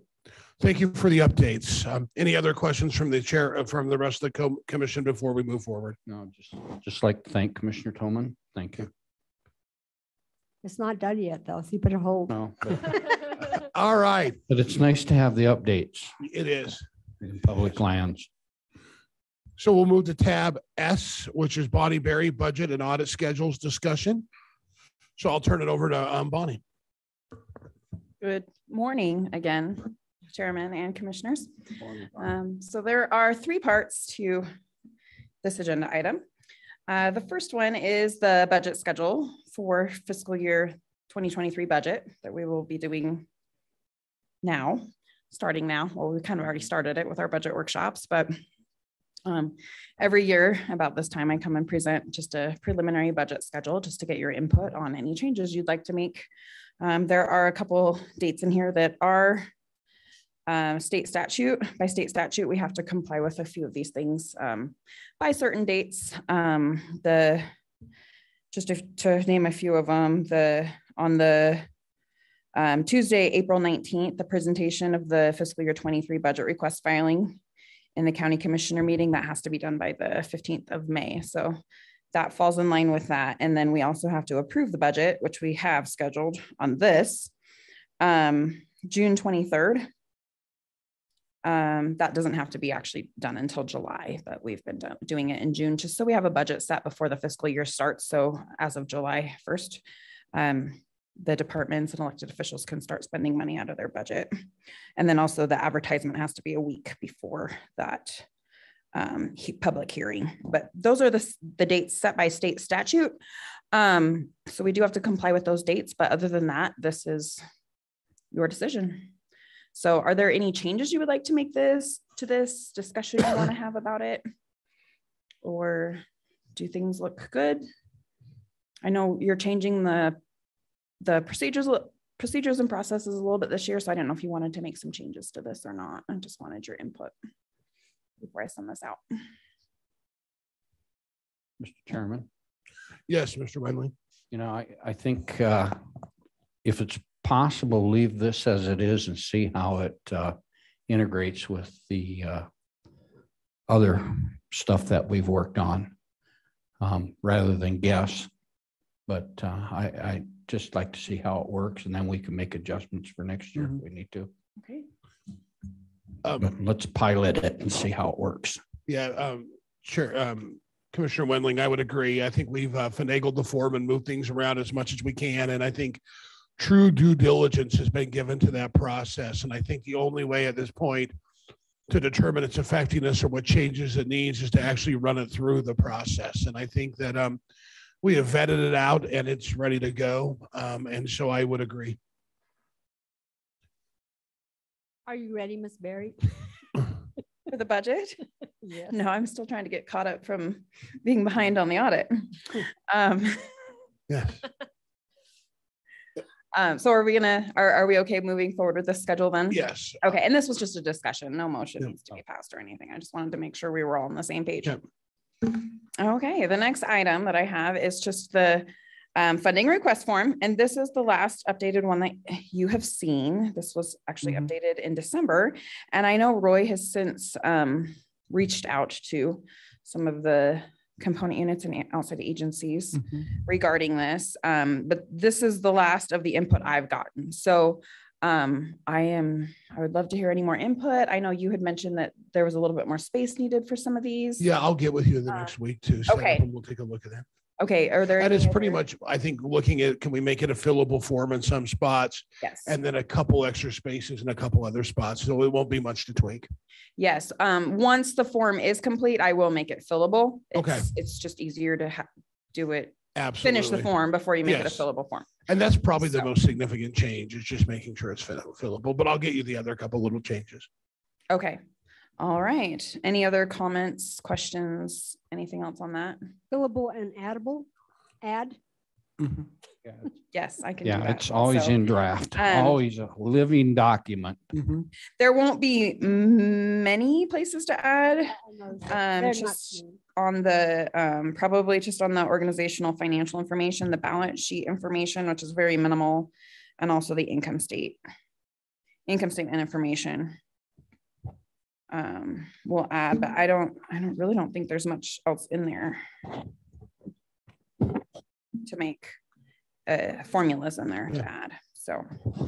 Okay, I will do that. I will just, Okay. let me make a note of that so I don't forget. So fillable. And- Okay, all right, the third item is the audit schedule. I have sent this um, to the auditors and Stephanie, she actually took a while to get back to me, so she has recommended some changes. Um, so on your schedule where it has, I believe October thirty-first, she's wanted to move a couple of these items up by one week, basically their field work that they're doing. Um, so she wants me to have the trial balances done a week earlier, so October twenty-fourth instead of thirty-first. And then she wanted to have a week in office, in their office. She wanted that moved up a week and then a week of their field work on site. Um, she wanted that moved up by a week too. They're usually here for two weeks. And then um, she wanted me to complete the financial statements and provide those to the auditors by November 7th, a week earlier. So those are the, just those four on there that she had suggested that we change, just to allow them to have a little bit more time um, with the Thanksgiving holiday and everything, just to wrap things up. Are there any concerns with those changes? Any concerns with the initial schedule? Um, Fellow commissioners, any concerns with what's been presented to you by Ms. Berry or any questions? Mr. Chairman. Mr. Wendling? Not a concern, but Bonnie, um, the changings for a week earlier, that'll work for you and for uh, Christina? Because I know she does the grants end of it, doesn't she? She does do the grants end of it. So it'll work with me. I have not checked with Christina yet, but I would be happy to check with her. Yeah, please do. Okay. Yeah, and then the second question is, is if they're not going to spend a second week here on site. They will spend a second week. The two weeks just got moved up Okay, very good. Thank you. because I initially had them um November seventh to the, I took it off my schedule, but it would have been the eighteenth oh. and they moved that up. They wanted to be here October thirty-first to November eleventh. Alright. So those two weeks. And then they'll do their preliminary field work from their office the week before that. Instead Thank of you. October thirty-first, they'll be doing that the week of October twenty-fourth. Thank you for, So it'll still be three weeks total and two weeks on site. all right, thank you. And they also do a week on site in August too yeah, for the they did. component units. All right. Any other questions for Ms. Berry? All right, I don't think any actions needed on any of that, correct, uh, Commissioner, uh, Commissioner, correct, Mr. DeLeon? Yeah, no action. Okay. All right, we appreciate your time and all your effort and help and, and we look forward to getting into the budget process, which I have to just be honest and share with our constituents. And I'm excited to know that we've already started our budget discussions, which is significantly farther ahead than typical. And I think it just shows us wanting to be a little more proactive in that process and not really try to do a, a multi-million, $47 million budget in two days. So I'm really excited that we are being proactive and moving ahead in that process. So thank you for your help in that.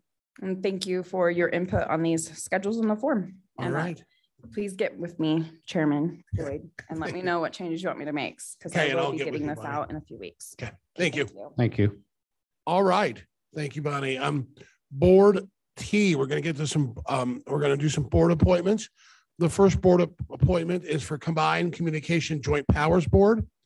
I would actually like to have our board consider to postpone that till next week to take a little bit of look at some new information brought to us before we make that appointment. Um, any questions or any, um, any dis- dissenting opinions to that? Mr. Chairman. Mr. uh, Wendling? Yeah, I completely agree that we postpone it for till the next meeting rather than next week. Yes, next meeting. All Sorry. right, thank Did I say next week? Holy word. Yeah, you, Okay. and- yeah, you're okay. We knew what you meant, but when it See, I comes get to, so it comes excited. to a board appointment, I hate to see somebody show up and we're not here for them. So, But so next let me meeting. clarify to next meeting. So I, So I'll make a motion to um, postpone the combined communication joint powers board, board appointments till our next meeting, which is March, do I have a second to postpone? March the- first. Yep, March first. Do I have a second? Second. Second? Seconded by I Commissioner was- Schoenfeld? No, that's, oh, yeah, you're right. You're right. Yeah. I got this, No, no, I got take- this. So, all right. Uh, Any discussion? Hearing no more discussion, all in favor of postponing this until next meeting, um, with an eye? Aye. Aye. All opposed, same sign. Motion passes. All right, we'll move on to the next board appointment, which is the Solid Waste Disposal District Board. Um, there's two expiring terms, Larissa, Larissa Appel, Apel, and RJ Piper. Um, that we did not receive an application from RJ and, um, we did receive one from Larissa Appel. We don't really have a liaison to this board, do we? So No. hearing that we don't, um, there are, um, two open positions. We also have four people that have applied, Charlotte Doak, Celeste Black, Sheldon Beard, and Lars Nandrup. So I'll just go down the table and see what anyone recommends and what they're thinking. So I'll start with Commissioner Wendling and his recommendations, and then we'll go down the table. Yeah, thank you very much. First of all, I'd like to uh, thank RJ, you know, and uh, I didn't hear that he applied at all. Sometimes they come in late, but he must uh, uh, feel he needs to be off board, but he's, he's done a good job. He's helped, helped with that board and uh, invested in it. So I want to thank him for his time uh, that he put into that board. Uh, my, uh, so for the two of them, of course, uh, first thing I'd like to say is, uh, support the reappointment of, Larissa Apple. And then, she's done a good job and she's, of course, has background in, in environmental science, so that, that's a good choice for the, to continue. And then uh, outside of that, uh, I, uh, I think uh, it's hard to make a decision, so I'll support my commissioners because Celeste Black or Sheldon Beard or Lars Nandrup. So that's where I'm at. Okay. Hard, hard to pick out that second one. Commissioner Schoenfeld, your thoughts? Um, thank you, Mr. Chairman. I also just wanted to thank everybody that is a new applicant that put in. It takes a lot of time and effort to, you know, throw yourself out there to do these kinds of things. And um, I also support the reappointment of Larissa, and I would also support Celeste Black as being a new um, applicant or new, um, oh my gosh, appointment um, to that board. Ms. Thoman, your thoughts? I, I, I'm not familiar with any of the applicants, so I guess I would pass on this right now. Okay. Um, I would, in my review, I also want to thank RJ. He came into that board when we couldn't get anyone to apply for that board. If I remember right, there was a point of time when I first became a commissioner and even before that where people weren't applying to be on that board. And then everything kind of erupted with the um, recycling center. And then we had kind of a resurgence in that group. So um, RJ stepped up to the plate when no one else would. So I, I do want to thank RJ for coming um, and serving during a time that was tumultuous and really helping get that board going in a good direction. I myself would also um, um, support Ms. Appel Apple um, to be reappointed due to her history and knowledge. And then I would agree, um, in, I don't really know very many of the other candidates, but looking at the applications, I would side with um, Commissioner Thoman that I think uh, Ms. Black would be a good appointment. So I would, so um, all three appreciate their application and they're wanting to serve in the community and think they would do a great job.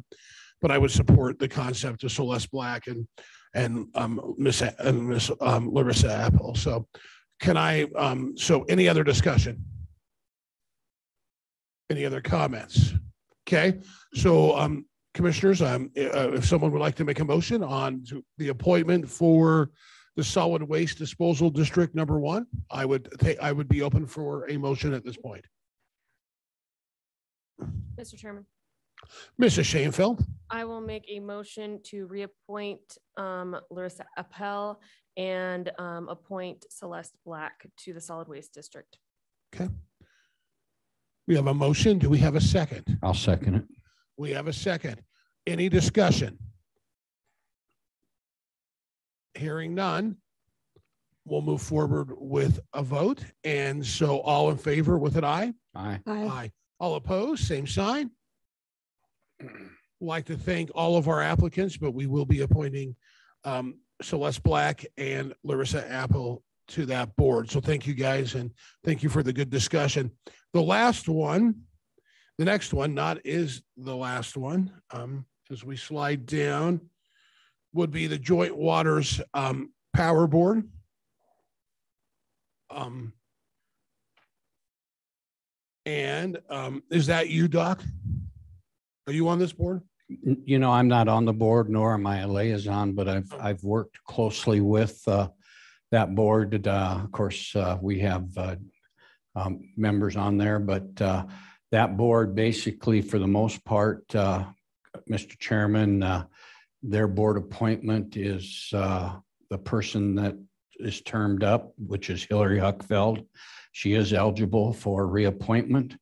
And uh, the, there's a letter in your packet and uh, it's written in support of reappointing Right.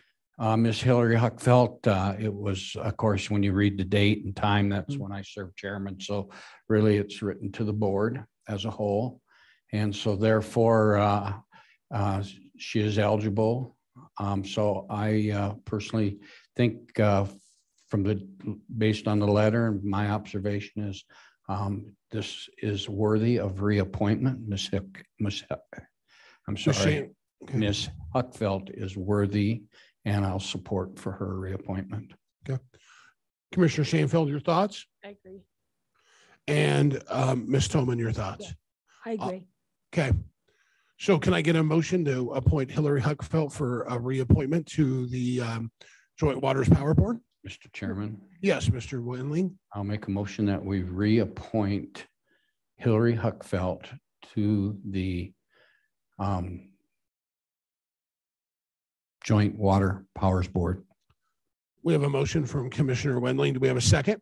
Second. Second by Commissioner Schoenfeld. Any discussion? All in favor, vote aye. Aye. Aye. All opposed, same sign. Motion passes. The one the half the crowd's been waiting for now is up now, and that's the uh, board appointment for the SEDC board. Um, and um, I will turn that over to the liaison to that board, and then also to be shared with the, uh, uh, yeah, we'll go to the liaison of that board, which is actually um, Commissioner Wendling. Thank you, Mr. And just before I get there, Doc, I apologize. There are three appointments to be made based upon the new bylaws and changes. There will be a one-year appointment, a two-year appointment, and a three-year appointment. And we did receive multiple applications from Mark Lyon, uh, Devin Brubaker, Mark Dell, Mark Cohen, Jessica Evans, Ryan Pauly, and Candy Pendleton. So we have a great slate of candidates. We have determined a fancy way of how to figure out who gets the one, two, and three year, but we'll get there in a second. So um, I will turn it over to the liaison. Thank, you, thank you, Mr. Chairman.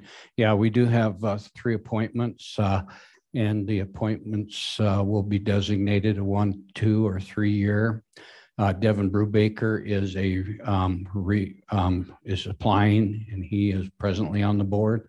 Also, I'd like to uh, inform public that uh, the commissioners uh, appointed Commissioner Schoenfeld to that board. So that is one of the three positions. And uh, as much as commissioner's name is not listed, I believe, as I look at it. Yeah, it is not. Um, she will be considered, uh, and the, the- and, and I will, uh, right up front, make, uh, let the board know that I'll be making a motion, um, for her to be reappointed. And then, uh, also, uh, we had, uh, Eric Bingham on the board. I'd like to thank him for his time. But, it's time for him to step back and, allow for a new appointment. And that new appointment will come from, Mark Lyon, Mark Dale, Mark Cowan, Jessica Evans, Ryan Pauly, and Candy Pendleton. I just want to say to those people, thank you uh, for stepping up. Uh, Like Commissioner Schoenfeld had mentioned for the other boards that, uh, you know, it- it's, it's a great paying job. Got to put in a lot of time.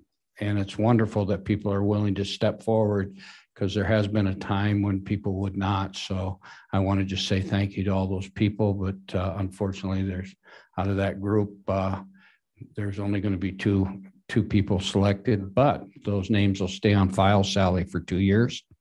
So if someone has to get off, we can fulfill a term with those as well as anybody else that may apply. So, um, Mr. uh, Chairman, what I think we ought to do is, I think, first of all, I think it's important that each commissioner looks at the list and makes their recommendation um, out of that list. I'll listen very carefully. I have been in visitation with those, uh, with everything.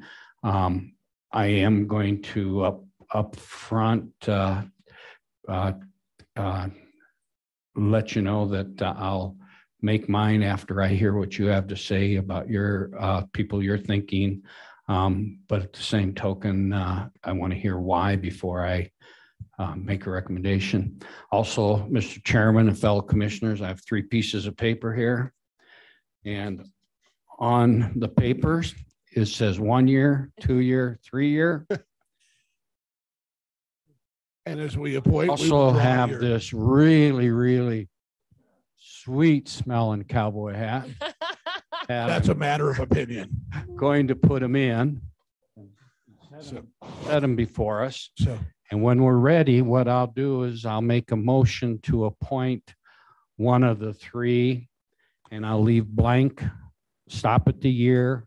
I would ask that uh, Sally would come up and draw one piece of paper, open it up, and that's, that will be that year's term. Are we okay with that? Yeah, there's really no scientific method to really do that. So we'll do this. So um, with that being said, um, outside of yourself, Commissioner Schoenfeld, let's get your opinion on who you would like to see appointed to this um, this board, then um, Mary will share, I'll share, then Doc will share, then we'll make a, then a motion will be made. So uh, Commissioner Schoenfeld, you? Um, absolutely. Thank you, Mr. Chairman. Um, so I have had the opportunity to work with Devin on this board and he is very, very dedicated to continuing with economic development in our community. He's done a great job. So he would be my first, um, my first option. And then I believe that we need to pull in some of the business community. And so I really think that Mark Cohen, um, offers that to us. Um, and I think that he would be another great addition. So those are my two picks. Commissioner Tillman, your thoughts? I would recommend Commissioner Schoenfeld, Devin Brubaker, and Mark Dale from First Bank. Uh, Mark is very excited and has been working with Uinta County and, and uh, Evanston, and I think he would bring a lot to the board. Um, that brings me up my thoughts. Um, want to tell you, it's really great to look at the slate because this slate of candidates are really top notch. There's not a bad person involved, and um, and um, um, I, I would support Commissioner Schoenfeld not only because we need someone from the commission there, but I think her knowledge in broadband is um, is essential as we look at economic development, and she's probably one of our stronger people in that knowledge area in the community. Um, I also reached out to Eric just to get some opinions, and you know, being kind of our our our, our department director in that area, just to see. And um, um, I would also recommend, based upon some of the conversations, to continue with Devin, as Devin seems to really have improved and stepped up and really been an integral part of this board. And then the last is, I I, I would I could be good with Mark Dell or Mark Cohen.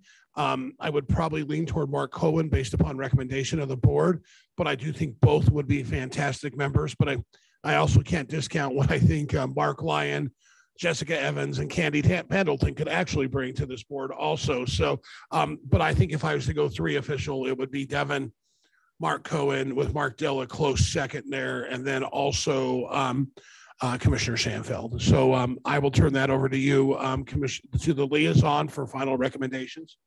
Thank you, Commissioner Lloyd. Well, I'll make my final recommendations when I uh, make uh, a nomination, that type of thing, and they're going to fall right in line with uh, what I've been hearing from all from you other three. The uh, one thing I, I, I just it's hard. These these are good people. They all have good uh, uh, resumes, no matter what that looks like. Their applications look good, and uh, I, I'm really, really pleased because when I think of where this uh, started six years ago, when Governor Mead walked in to a uh, meeting with uh, mayors and and commission, not all commissioners, but the mayors and and a couple commissioners and uh, some of the leadership, and said, "Hey, we need to put something together so we can set up Sweetwater County for possibly uh, consideration as an industrial site. And when they were starting the Endow project. And uh, I remember the uh, Rock Springs Chamber immediately jumped in because they were part of the lead and said, hey, we'll, we'll work on it from here. So a group of people, and uh, that group of people um, for the most part, when I look in this room, and uh, Eric helped me out, but there's only three people from that original committee in this room. At that time, it was Kayla McDonald. She was working with the chamber, and I think Kayla was basically um, told that she would do the work, heavy lifting, and Tom, and Mr. Hanks would help her. Then the other one, of course, was uh, Mr. Bingham, who's still with us in the county, and uh, coming out of planning zoning. And then as a uh, uh, liaison and at that time newly elected com commissioner, I was uh, assigned to that group and as uh, the primary candidate. And then when I look at where that started, working on that, uh, filling out that sheet to be considered, and see where it's come today with volunteers, I'm, I'm totally amazed. Now I know I know in many ways people are saying, well, where where are the outcomes? Well, there's many hidden outcomes from SCDC that uh, don't get publicized and that, but there's work and there's been some positive results. And I'd like to sit here and check them off in a checklist, but I think if anybody's interested in those, they need to attend the SADC meetings and listen in and get those results rather than look here for them. Of course, where it's at now with the two cities and the county um, in a MOU for shared expenses and, and things for moving forward and that type of thing. I, I I think uh, I'm just amazed. I've been able to watch it grow and be a part of it. So with that, commissioners, uh, just a quick update of where it's come from and where it's at right now. First thing I would like to do is I would like to make a motion Okay. that we appoint Commissioner Schoenfeld to the, and the drawing is, Well, okay, I got you. open it up, please. And the winner for Commissioner Schoenfeld is, how do you like that sealed envelope? ballot. sticky on it? Yeah. All right, Commissioner Schoenfeld for a one-year term. to So we the have a motion SCDC board. for Commissioner Schoenfeld for a one-year term on the SCDC board. Do we have a second? I'll second. Second by Commissioner Thoman. Any discussion? All in favor, um, please vote with an eye. Aye. Aye. And, and that would be one abstain vote. Uh, so Matt, um, any, uh, any opposed? None opposed. So let the record show it was a 3-0 vote with one abstention. And the abstention was Commissioner Schoenfeld. So congratulations on your lucky hat one-year appointment. All right. are you- um, I'll entertain a motion for the next member of the SCDC board. All right, Mr. Chairman, I will make a motion that we reappoint Devin Brubaker to a, to the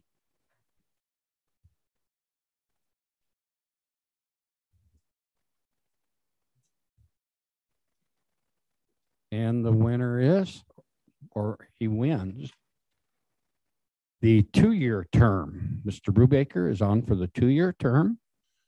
That's my motion. So the motion is, uh, Devin Brubaker to the SCDC board for a two-year term. Do we have a second? I'll second. Commissioner Schoenfeld with the second. Any discussion? All in favor with an eye? Aye. Aye. All opposed, same sign. Congratulations, uh, Mr. Brubaker. You get two more years on the SCDC board. Miss- And our final motion uh, for the last board member. I'm Mr. searching Chairman, for just Which will be the three-year term. Very good. So we don't have to do the pomp and circumstances of the hat. Oh, come on, it was fun. We gotta show it it's a three-year though. Oh, would you open it, Sally, and tell me? Yeah, if it says one year and you throw this whole Yeah, process. I know it. Throw it out. Look at that. Okay. She pulled the rabbit out of the hat. All It's a right, three-year term. great. So, Mr. Chairman, I will make a motion that we appoint Mark Cowan to the three-year term for the SCDC board. All right, with the motion is for Mark Cowan to be um, the representative for the three-year term on the SCDC board. Do I have a second? I'll second. Any discussion? The only discussion I would throw out is just one more throw out to all the other candidates who are very viable candidates. And this is a great problem to have. I hope we continue to have this on some of our board appointments. So with that being said, the, um, we have a motion and a second. Um, so all in favor with an eye? Aye. Aye. All opposed, same sign. Congratulations, Mr. Cowan, to the Lucky Hat three-year term. So, Mr. Chairman, yes, I will leave the ballots lie up here on the table. So if anybody wants to check them for authenticity. Thank you. I need to see your ID too then. Okay, so with that being said, we're gonna move on to tab U. And um, and actually my recommendation is um, um, last night Jeff did call me late at night about nine forty-five, as I previously mentioned, to take the meeting and was, we were looking at the agenda. We probably had an oversight in looking at the discussion on representatives like the county department elected officials, which would have been led by Jeff in his appointment. So I would actually look toward a, a motion to postpone that till the next meeting. I won't say week this time, next meeting. Um, and that way Jeff can lead that discussion because he's the one making the appointments as the board chair. So any comments or discussion from the commissioners regarding that thought? Mr. Chairman, Mr. Wendling? I agree. Okay. We'll mark that on the calendar. And then also I'm looking for a motion. Mr. Chairman, Mr. Wendling? I'll make a motion that we postpone tab U, discussion on representatives for county departments, elected officials until the next meeting, March first, twenty twenty-two. Do we have a second? I'll second that. All right, any discussion? I would say just the only matter of discussion is that, so that at this point, the, the old liaisons will continue till the new decisions are made. And so if anyone's concerned of who their liaison is, it will be the continued the pattern of where we're at now. So any, um, so that being said, there is a motion on the table. Um, do I, um, all in favor, vote for an, uh, with an aye? Aye. Aye. All opposed, same sign. All right, lucky, none of us have new appointments until next meeting. So um, we're now at commissioner reports and Commissioner Smith is not here. He did not leave me with his report. So we will move to Commissioner Schoenfeld. Thank you, Mr. Chairman. Um, so first, the museum is preparing for the annual quilt show in the courthouse. Um, they are planning a modest exhibit opening, is what he told me, um, with the Quilt, Quilt Guild um, on March 1st with cookies and refreshments. So look for the advertisement on that. Um, they're also planning some children's activities and um, some things for kids to design their own quilt and do some other interactives. Um, and they also have a history fair that's coming up in May that they're starting to work on and scheduling classes and arranging buses and doing other things for that event. Um, so they have invited every third grade class in the county, including homeschooled kids, and they are expecting um, as many as 700 students. So that's exciting. Um, great job. Um, SCDC, they have, um, in our last meeting, we had discussion around the budget and board terms that are within the new bylaws. Um, and then Kayla's also been working on a number of new leads that have come in and have kept her busy. Um, I've also had the opportunity to meet with Marty, um, Gary, and Jean since our last meeting, um, and Eric as well, since our last meeting, just reviewed how things are going um, and got some information.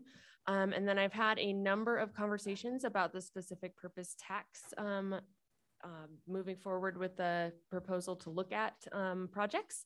Um, I've heard both extreme options, both for and against. Um, and I've also had the opportunity to clarify some concerns and to answer some questions and things like that that have come up. So I will also be going to the Green River City Council board meeting or City Council meeting tonight um, just to kind of review what we decided last um, meeting and answer any questions that they may have. Um, and then I believe I met with um, uh, City Councilman Robinson from Rock Springs, and I believe that um, they are going to be having TurnCore come and meet with their council to answer any questions in the next few weeks as well. So I think that is all that I have, short and sweet today. All right. Any questions for Commissioner Schoenfeld? If not, nice report. Thank you, Commissioner Schoenfeld. And we'll move to Commissioner Thoman. Thank you. It's been a very busy two weeks, is all I can tell you. February 2nd, attended the federal agency uh, breakfast meeting that we always have with the uh, federal agencies. Uh, the new updates on BLM, the Bureau of Land Management, they we finally do have an official state director, Andrew Archuleta from Colorado. Uh, we have an acting High Desert District Director is Melissa Towers, who is the regional fire commander out of Boise, who is acting as regional, uh, she's a budget type person, but she might be someone we might want to visit with. She didn't attend the meeting that day, but she is our acting until uh, they uh, hire someone for the High Desert District, which is the boss over the five um, BLM offices. February 3rd, Pacific Atlantic Soda uh, cooperating meeting, scoping the end of this month. As I mentioned earlier, we are 20 months away from a final record of decision for those plants. Met with the legislators at the Broadway Theater. There were 16 legislators there. Very good meeting, talking about what they're doing at the leg. Uh, will be doing at the legislature. And we will be, some of us attending next week for three or four, five days, various days. February 5th, uh, attended the Conservatives and Crimson Gala. There were 160 uh, attendees from Uinta, Sweetwater, and Carbon County. It was a very nice event. So thank you to those uh, people who planned that. February 7th, the budget workshop with the elected officials. That was, I think, a positive. The elected officials seemed to be excited to be able to give us a, a pre-budget uh, update or uh, what to expect. February 9th, integrated working group with Wyoming coal communities, some ideas uh, for grants and, and information. Uh, went to Planning and Zoning Commission and shared our land and resource use plan and asked them to help review it or pre-review it before it goes public. Uh, well, that will be public, but anyway, that'll be on one of our review boards. Did a Zoom meeting, an hour and a half on the Natrium Planet Kemmerer. That was very interesting. Uh, it was a stakeholder meeting. I think they said they had, where they had 200 people on, on Zoom but they answered every possible question that they could think of. So they will continue to have those. So that was also uh, very interesting and something we need to gear up for. We will feel the impact of that uh, of that plant operation. Attended WCCA video conference. Uh, I have an update on county fire, the special committee that we've been working on. Um, we're getting close and we will have options for the commission to consider at our March at our March meeting. I do have a, a, a, report of what we've done. We've had at least seven subcommittee meetings uh, with Gene Legursky, Mike Barnesium, um, Commissioner Lloyd, myself, Gary McLean, who else? John DeLeon and oh, Gary. John DeLeon, yeah. And Jane Legursky. Yeah, I got those.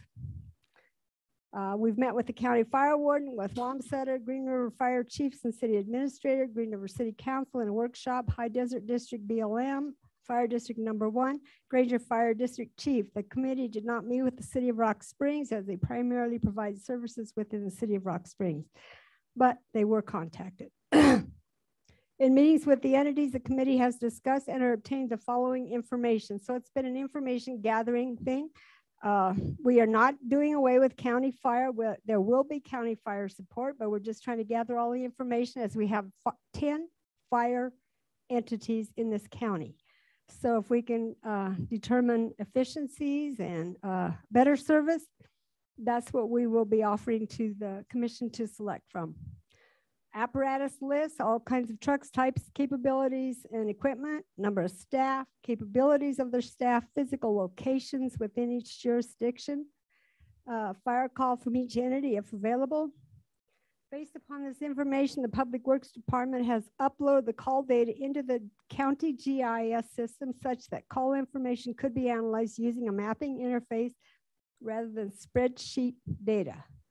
The committee has received proposals from uh, City of Green River to provide services for the western portion of the county, um, Fire District 1 for the east, south, and north portions of the county. Town of Wamsutter is already taking calls uh, on the eastern side along the interstate corridor. The committee will be meeting to review these proposals with the intent of being ready to present findings and recommendations at the March 2nd meeting of the Board of County Commissioners. So our subcommittee, Mr. Bornesi, we will be meeting to review all of our options that will be taken to the uh, board before we go to the board. So that's what I have on the fire update. Um, let's see, uh, went to the ambulance board meeting on February 10th. Um,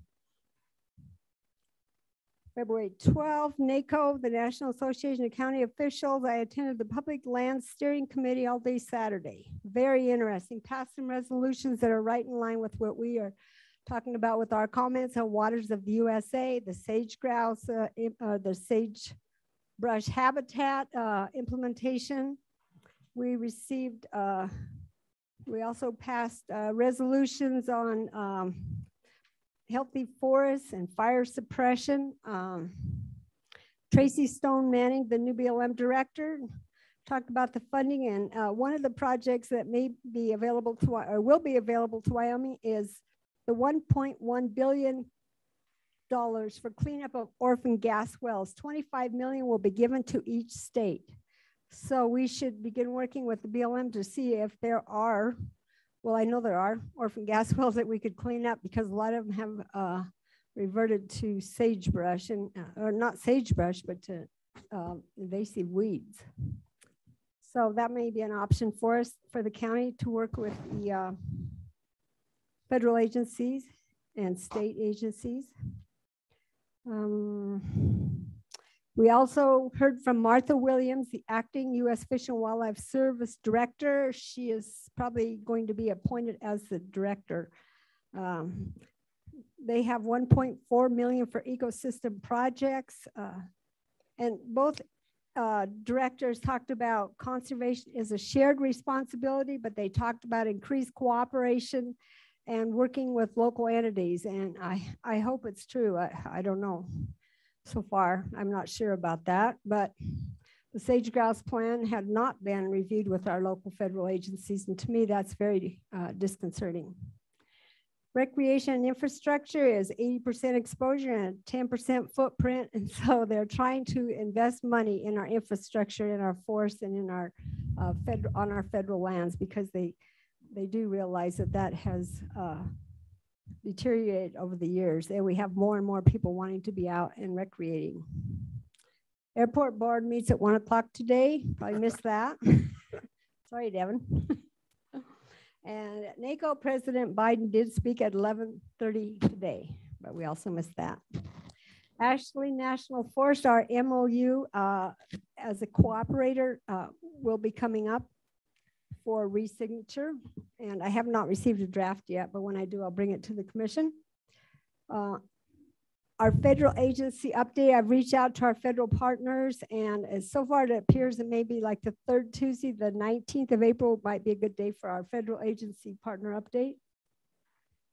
So that is my report. Thank you for the report. Any questions for um, Commissioner Thoman?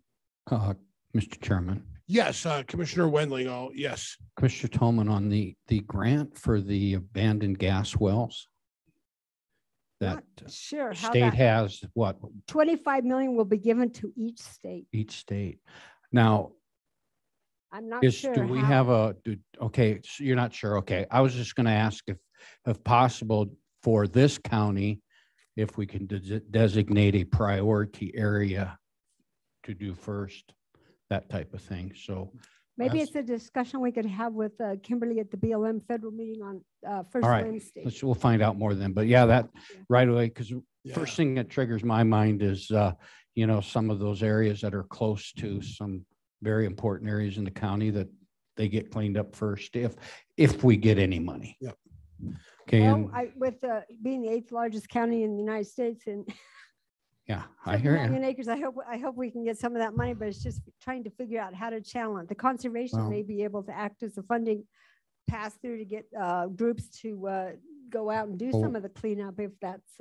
Well, if with, that's with the thought of the eighth largest county, we're also bigger than six other states in the United States. Right. So that might carry a little more weight. I'm hoping. Yeah, and then uh, I appreciate your fire re- review. Um, When I, when I look at it and that type of thing, um, the committee's been able to meet as a whole with all those groups, Yes, as a whole. yes, as a whole. Okay, very good. And the one thing that would be important about for the committee to visit with Rock Springs Fire Chief is because he was a former uh, fire warden for Sweetwater County before he, or district, I'm sorry. Thank you. Thank you. So he might be a valuable resource uh, to talk with and that type of thing. And uh, appreciate uh, committee keeping our uh, fire warden in the loop and having him at the meetings. I, I, that's very important. So outside of that, that's the questions I had. Thank you. Good report. Thank you. Yes, good report. And now I will move on to my report. First of all, want to give a big shish boom rah to the Green River varsity co-ed game day cheers. They took fifth in the country. They were state champions last week, but our Green River High School cheer team went to nationals and took fifth, which is actually pretty awesome. Also want to wish um, um, the sport that's near and dear to my heart, the Green River and Rock Springs wrestling teams luck at regionals this weekend.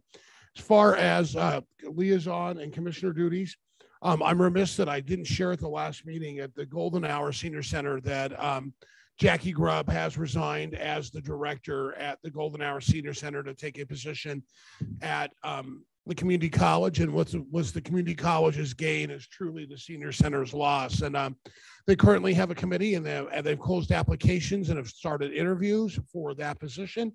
But I just want to personally thank Jackie for what was really an outstanding job at the senior center and the programs. And um, due to my personal line of work outside of being a commissioner, um, I have a lot of time and opportunities to spend at the commission at the uh, senior center. And I can tell you, um, her and her staff have a huge impact on the lives of many people. And if you don't believe it, go about 12 o'clock to the Golden Hour building and look at this line around the building doing pickup mills.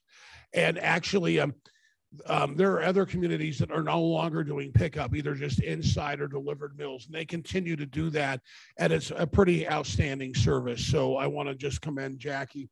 Um, we do have a board meeting next week, but I will be unable to attend, which is my next uh, next item. I will be out of town next weekend, um, next week uh, with multiple of my fellow commissioners at um, at the legislative session and at the state commissioner meetings, um, representing our county and um, taking a look at legislation, meeting with local legislators, doing some lobbying, and we'll be there.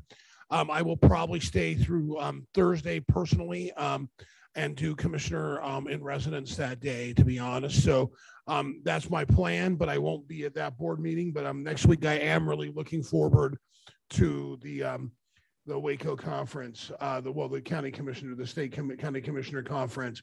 Um, last night, we had a tripartite board meeting.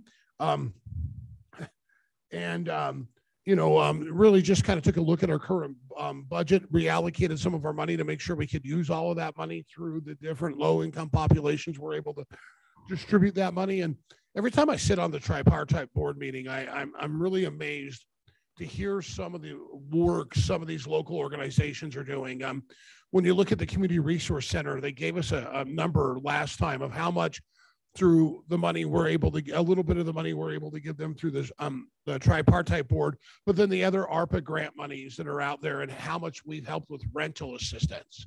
And it's amazing the impact these groups are making the ywca uh, the senior centers um, it, it's really amazing. So a big thanks to them and the tripartite board. Um,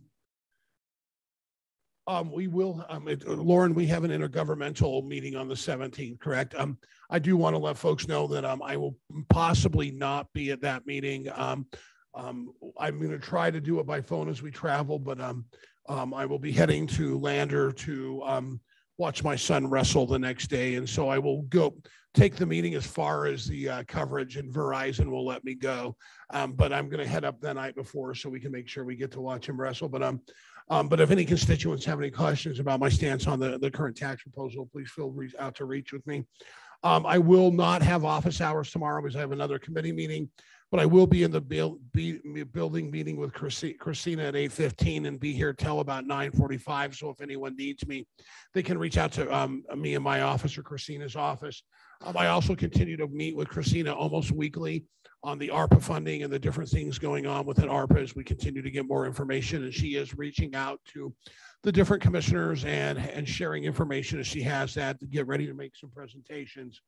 Um, and I think um, I just continue to meet with um, various department heads, uh, directors, and elected officials on a continuous basis um, as we move forward um, with different projects. So that's all I have, unless there, if, if there's unless there's any questions for me. Hearing none, I'm going to toss it over to Commissioner Wendling. Thank you, Mr. Chairman. Uh, first of all, uh, did attend uh, the uh, on February uh, 3rd, right after our meeting, the uh, Rock Springs uh, sponsored uh, legislative panel and social that uh, the uh, legislators that were heading down to Cheyenne visited with the public.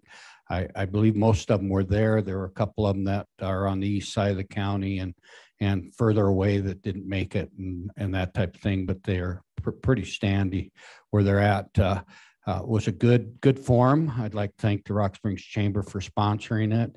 And uh, afterwards, uh, there was a social where you could talk individually with uh, the uh, senators and representatives with regard to their topics. I think it was there was a little bit of a disappointment. I, I you know, I debated whether I was going to say anything today or not, but I think it's it's fair to say that uh, when someone makes a statement that uh, Wyoming elected officials are dishonorable, it uh, kind of disappoints me because uh, I'm an elected official and there's many of them sitting in this room, there's many that are not. And uh, I just think that's unfair that uh, somebody would say that about people that, uh, you know, leave their jobs, and do the things that they do do for the state, the county and the cities and that type of thing. And uh, I, I just, uh, just raises a hair on the back. My, it did that night. I did address it. Uh, you know, in many ways, every elected official is honorable in the way they feel that they need to operate. Um, being dishonorable is to be judged by somebody higher than myself, not by any state senator or whatever. But uh, I, I uh, just want you to know, uh, commissioners, as much as I heard that statement, and the first ones I thought about was ourselves. Um, I feel that I'm working with an honorable group. We may not always disagree. We may have those individual uh, um, conversations here at this table, but when it's over, it's over. The vote's down, it goes. I also believe in this county, we work with honorable elected people. Um, I'm, I was really disappointed in that. So I'm sorry I took this platform to talk about that, but I think it's fair to um, bring it up. Um, and uh, we'll see how it all shakes out. That's all I'll say on that. The other thing is, uh, I, uh, I didn't attend, but I, I zoomed the ambulance board meeting. I was, uh, i- um, I got to think where the heck I was that day that I zoomed it, but doesn't matter. But anyhow, it was a good meeting. Um, and Commissioner Thoman, you can fill in the blanks if you like for me, but I forward to all the commissioners, the ambulance numbers this morning, they're reporting that, so has everything there. Um, the discussion primarily focused on, hey, the status of where ambulance service was with uh, Castle Rock and their proposal. Castle Rock had, uh, was waiting, and I believe it was, uh, they, they were going to be meeting uh, next month around the seventh and eighth with uh, the uh, organization that did the uh, um, Thank you very much. I knew you'd fill me in with Safe Tech to look at the recommendations for the county and then they'd be ready.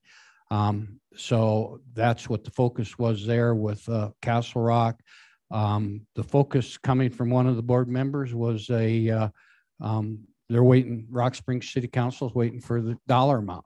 You know, what's going to happen, you know, what's going to cost and that type of thing. And uh, also uh, they're requesting um, what is the cost if Rock Springs stays part of Castle Rock, or what's Castle Rock's uh, cost going to be if Rock Springs not part of it?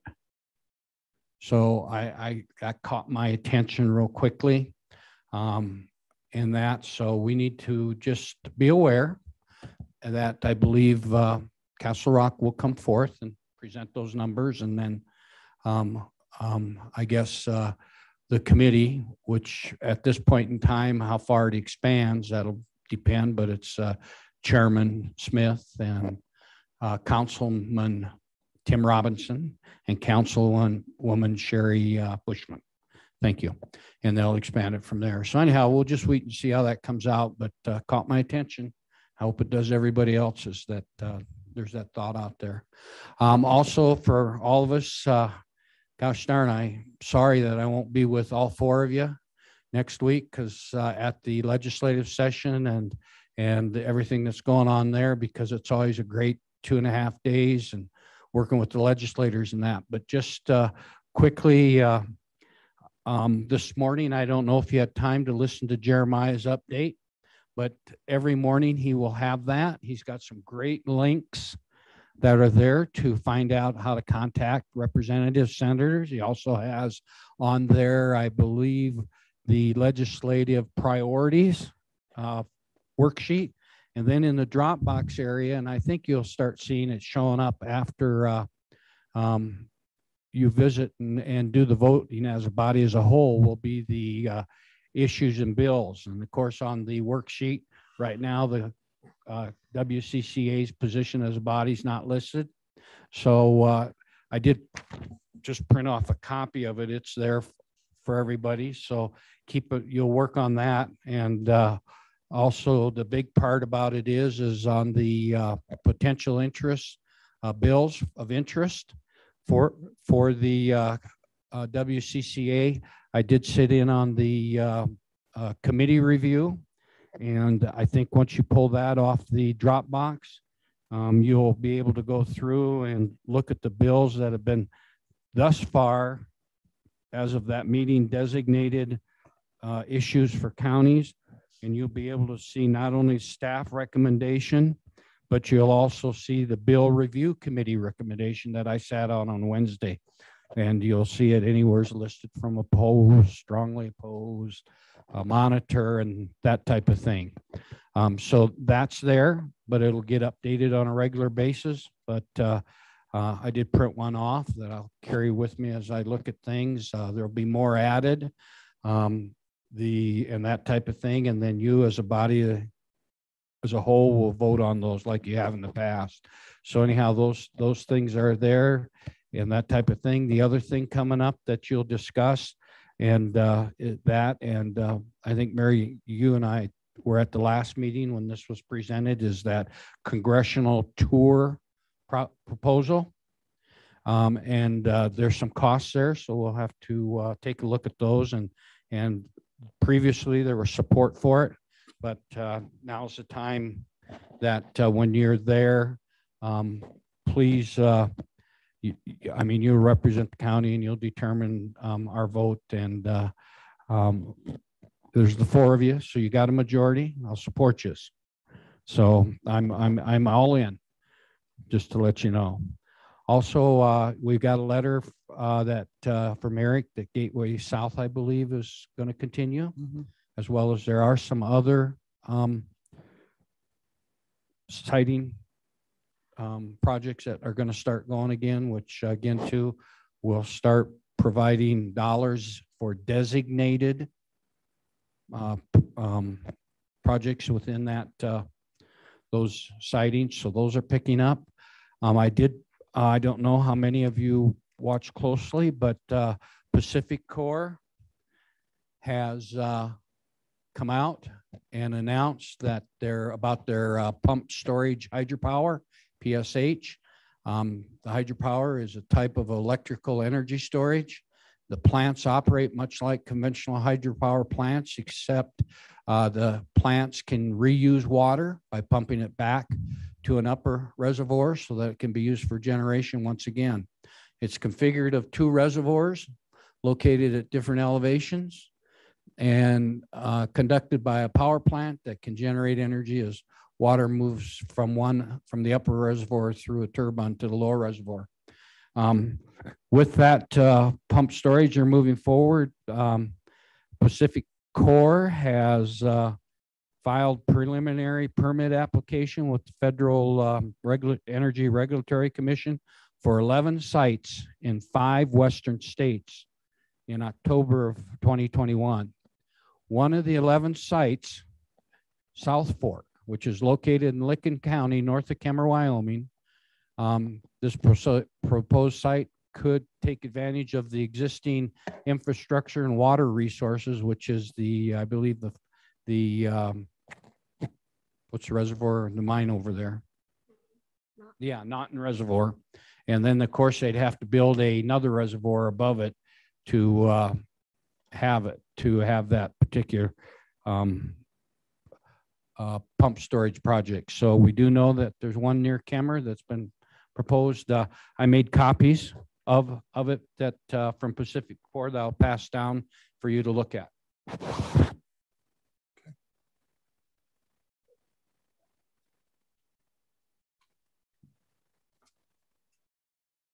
Okay, Gateway South.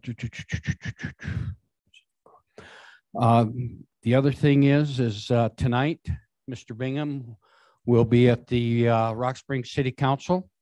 Um, What's happening there is, uh, as we all know, part of that phase one of the Bitter Creek requires some uh, infrastructure on the uh, Rock Springs side of things. And so their uh, engineer, um, Public Works Director, Paul Kauchich, has been working with a grant with the state. And I believe they'll submit their application, get approval to submit their application tonight. Is that correct, Eric? Yes, for the Middle Baxter. For Middle Baxter? Level two. Level two. So that end of it is moving forward, which is good. And then it'll move on to the state and hopefully get on their list for grant approvals and that type of thing. And lastly, um, I would like to say that uh, last week I, uh, uh, at uh, the request of the Rosenbauer Fire Production Unit north of Minneapolis in a little town called Wyoming, Minnesota. I even took pictures of their of their water tank. But anyhow, they build fire trucks, and Rosenbauer is the one that was selected to build the fire truck for the grant from the feds. And uh, there was a lot of work there. I attended that with our fire warden, Mr. Bournazian, and uh, it was uh, exciting. It was, I mean, a base one, pre-con design. Uh, never experienced anything like this in my life before, but I'm telling you what, our fire chief knows fire trucks. And what he even knows better about the fire trucks when you can go out and look at one and look at it and say, nah, we're going to do this because it's going to work better for our firefighters. And then there's some work that comes. But I asked Chief to be here this morning because I'd like to give have you have him just kind of fill in the blanks as to uh, what it was that uh, exactly occurred, what are the steps that uh, have that's been taken so far so that uh, we're working closely with Marty in purchasing and uh, to make sure that we stay within the uh, uh, grant allocations that we have. So, Mr. Chairman, if it's uh, uh, all right with you, I would request that we allow Chief Bournazian to approach the podium and possibly bring us up to date with regard to the pre-con on that fire truck and uh, just answer any questions if any of us have.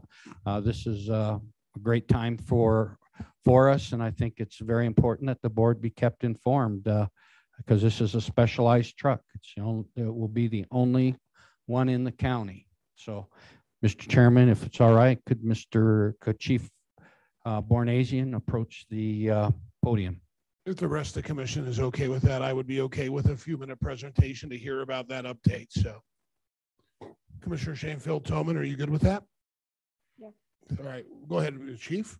Okay, uh, Warden Bournazian, please approach the podium and you know the drill. Introduce yourself, talk into the microphone and and if we can keep it between about five and six minutes, five and seven minutes, that would be great. I'll, ma- I'll make it brief. Okay. Mike Bournazian, County Fire Warden. Um, the pre-bill meeting is, uh, is, uh, one of the initial steps after award is given to a fire truck manufacturing. Um, every fire truck that's built goes through a pre-con, uh, pre-construction. What they basically do is the, the importance of it to us is to answer some questions and clarifications with their engineers, their electrical, their builders, their project manager, things like that. They have to transfer our bid because you can imagine that they build trucks for the entire world, literally. Um, all bids are different, but they use one standard build sheet. So they transfer all that. So we literally went item by item on the build sheet, whether it was something we spec or something we did not spec. We spent a lot of time at the conference room um, with uh, engineering and others. We spent a lot of time on the floor. We got to see raw material come in the door and how it's fabricated step by step. Um, we got to talk with uh, Freightliner. Um, there are some there are some changes that will need to happen. Um, most of these, most of what we discussed were cosmetics. If you want 12 volt power to the cab, do you want that in a cigarette lighter, a USB port, or a USC? And how many and where would you like those? We're, we're down to the nitty gritty. Uh, shore power, where we plug into the truck to charge. Are there any outlets we want to charge something on the truck while it's sitting at the station, like battery packs and things like that? How would that wiring look? Where would that be located? Um, compartment sizes, shelf widths. Uh, do we want a 12 inch shelf or 24 inch shelf? So this really, the, the bottom line is this is not to change any cost at all to the contract. The contract is the contract for the set amount of money. This is this is merely to make sure that what we envision is going to be built to how we envision it and make sure it's useful. There are some things we changed. Um, once we got there, it was obvious that we looked at a couple other trucks that our ladder storage had to be changed because it's too high off the ground and can't be angled down and things like that. So it was cosmetic changes. I met with Marty yesterday, explained this to her because I know there was some concern about what the reasoning was for going to such a, a meeting. And I can tell you it was invaluable. So we got to see the beginning stage to the end product. And we got to meet with every single person in every building, in any position we would talk to, to have, ask questions. Spent thirty minutes with the pump, their lead pump person, engineer. Specifically, how are we going to maintain that pump? How are we going to access that pump? Um, that's really the brain behind it, right? So having that ability was, was huge. So that's, that's really what that trip encompassed. The next step will be those alterations, modifications, or changes will be built into a spreadsheet. They'll work that internally to see what can and can't be done. It'll have to be agreed upon in all their different departments. And then once the final sheet is all worked out, that will come back to us and to Marty to be in the packet. So as a, as a document. So next step then will be uh, six weeks prior to their forecasted completion date will be a mid-build inspection. I don't see that for at least a year. Um, so, and they're facing shortages like everyone else on materials and parts and that kind of thing. So that's, that's really it in a, in a nutshell. So any questions? Any questions for uh, Warden Bournazian? Thank you for the update. I do appreciate that. So certainly. Thank you, Chief. And uh, I, I do want to say uh, Mike established some, or Chief Ward Bournazian has established a great working relationship with that group. And uh, uh, look, and I look forward to seeing that relationship continue throughout uh, this process and that type of thing. And, and I would encourage you as commissioners, if you get an opportunity to make that trip to, you know, at the next one or whatever, do it. Um, it's at uh, Rosen. Well, it really comes out of the grant, but because there's money set aside for it. But uh, anyhow, but uh, they really, really take care of you. That's what I'm going to tell you, and, and that type of thing. So, anyhow, with that, uh, I'll stand for any questions. And thank you, Mike. Any questions for uh, Commissioner Wendling? If not, I just want to piggyback onto something Commissioner Wendling said, and I'm I no offense taken when you talked about the comments made about the dishonorable concept that night, and I just um um it, it does strike a chord I think to many of us in our own way because um this is not an easy job. There's no how-to manual. You walk away with less friends than you had to begin with, and when you're old and make people mad like I do already, you don't always go in with a lot already. But um, with that being said, it is a tough job, and um, and it's one that I think I've learned that as you go through, that sometimes you celebrate your successes, but also question some of the decisions as you kind of become more knowledgeable and, and go by. And um, and to be successful at any level, it, there's an immense amount of effort that I don't think anyone really appreciates or understands. So um, taking away the performance of anyone and, and making a comment of them being dishonorable is is is is sad in that situation because until you've been here it's a lot easier than you think it is. So um, I do I do agree with your comments. So with that being said, um, with no nothing else on the agenda except executive, I um and I, I would I would take a motion to go into executive just for transparency sakes. We do have a personnel issue, a contract issue, two legal issues, and some pre-decisional issues um, to look at. So um, um, at this point, I'll entertain a motion to go into executive. So. We have a motion by Commissioner Schoenfeld. Do I have a second? Second. Second by Commissioner Wendling. With that being said, we will go into executive. And before we do, uh, it,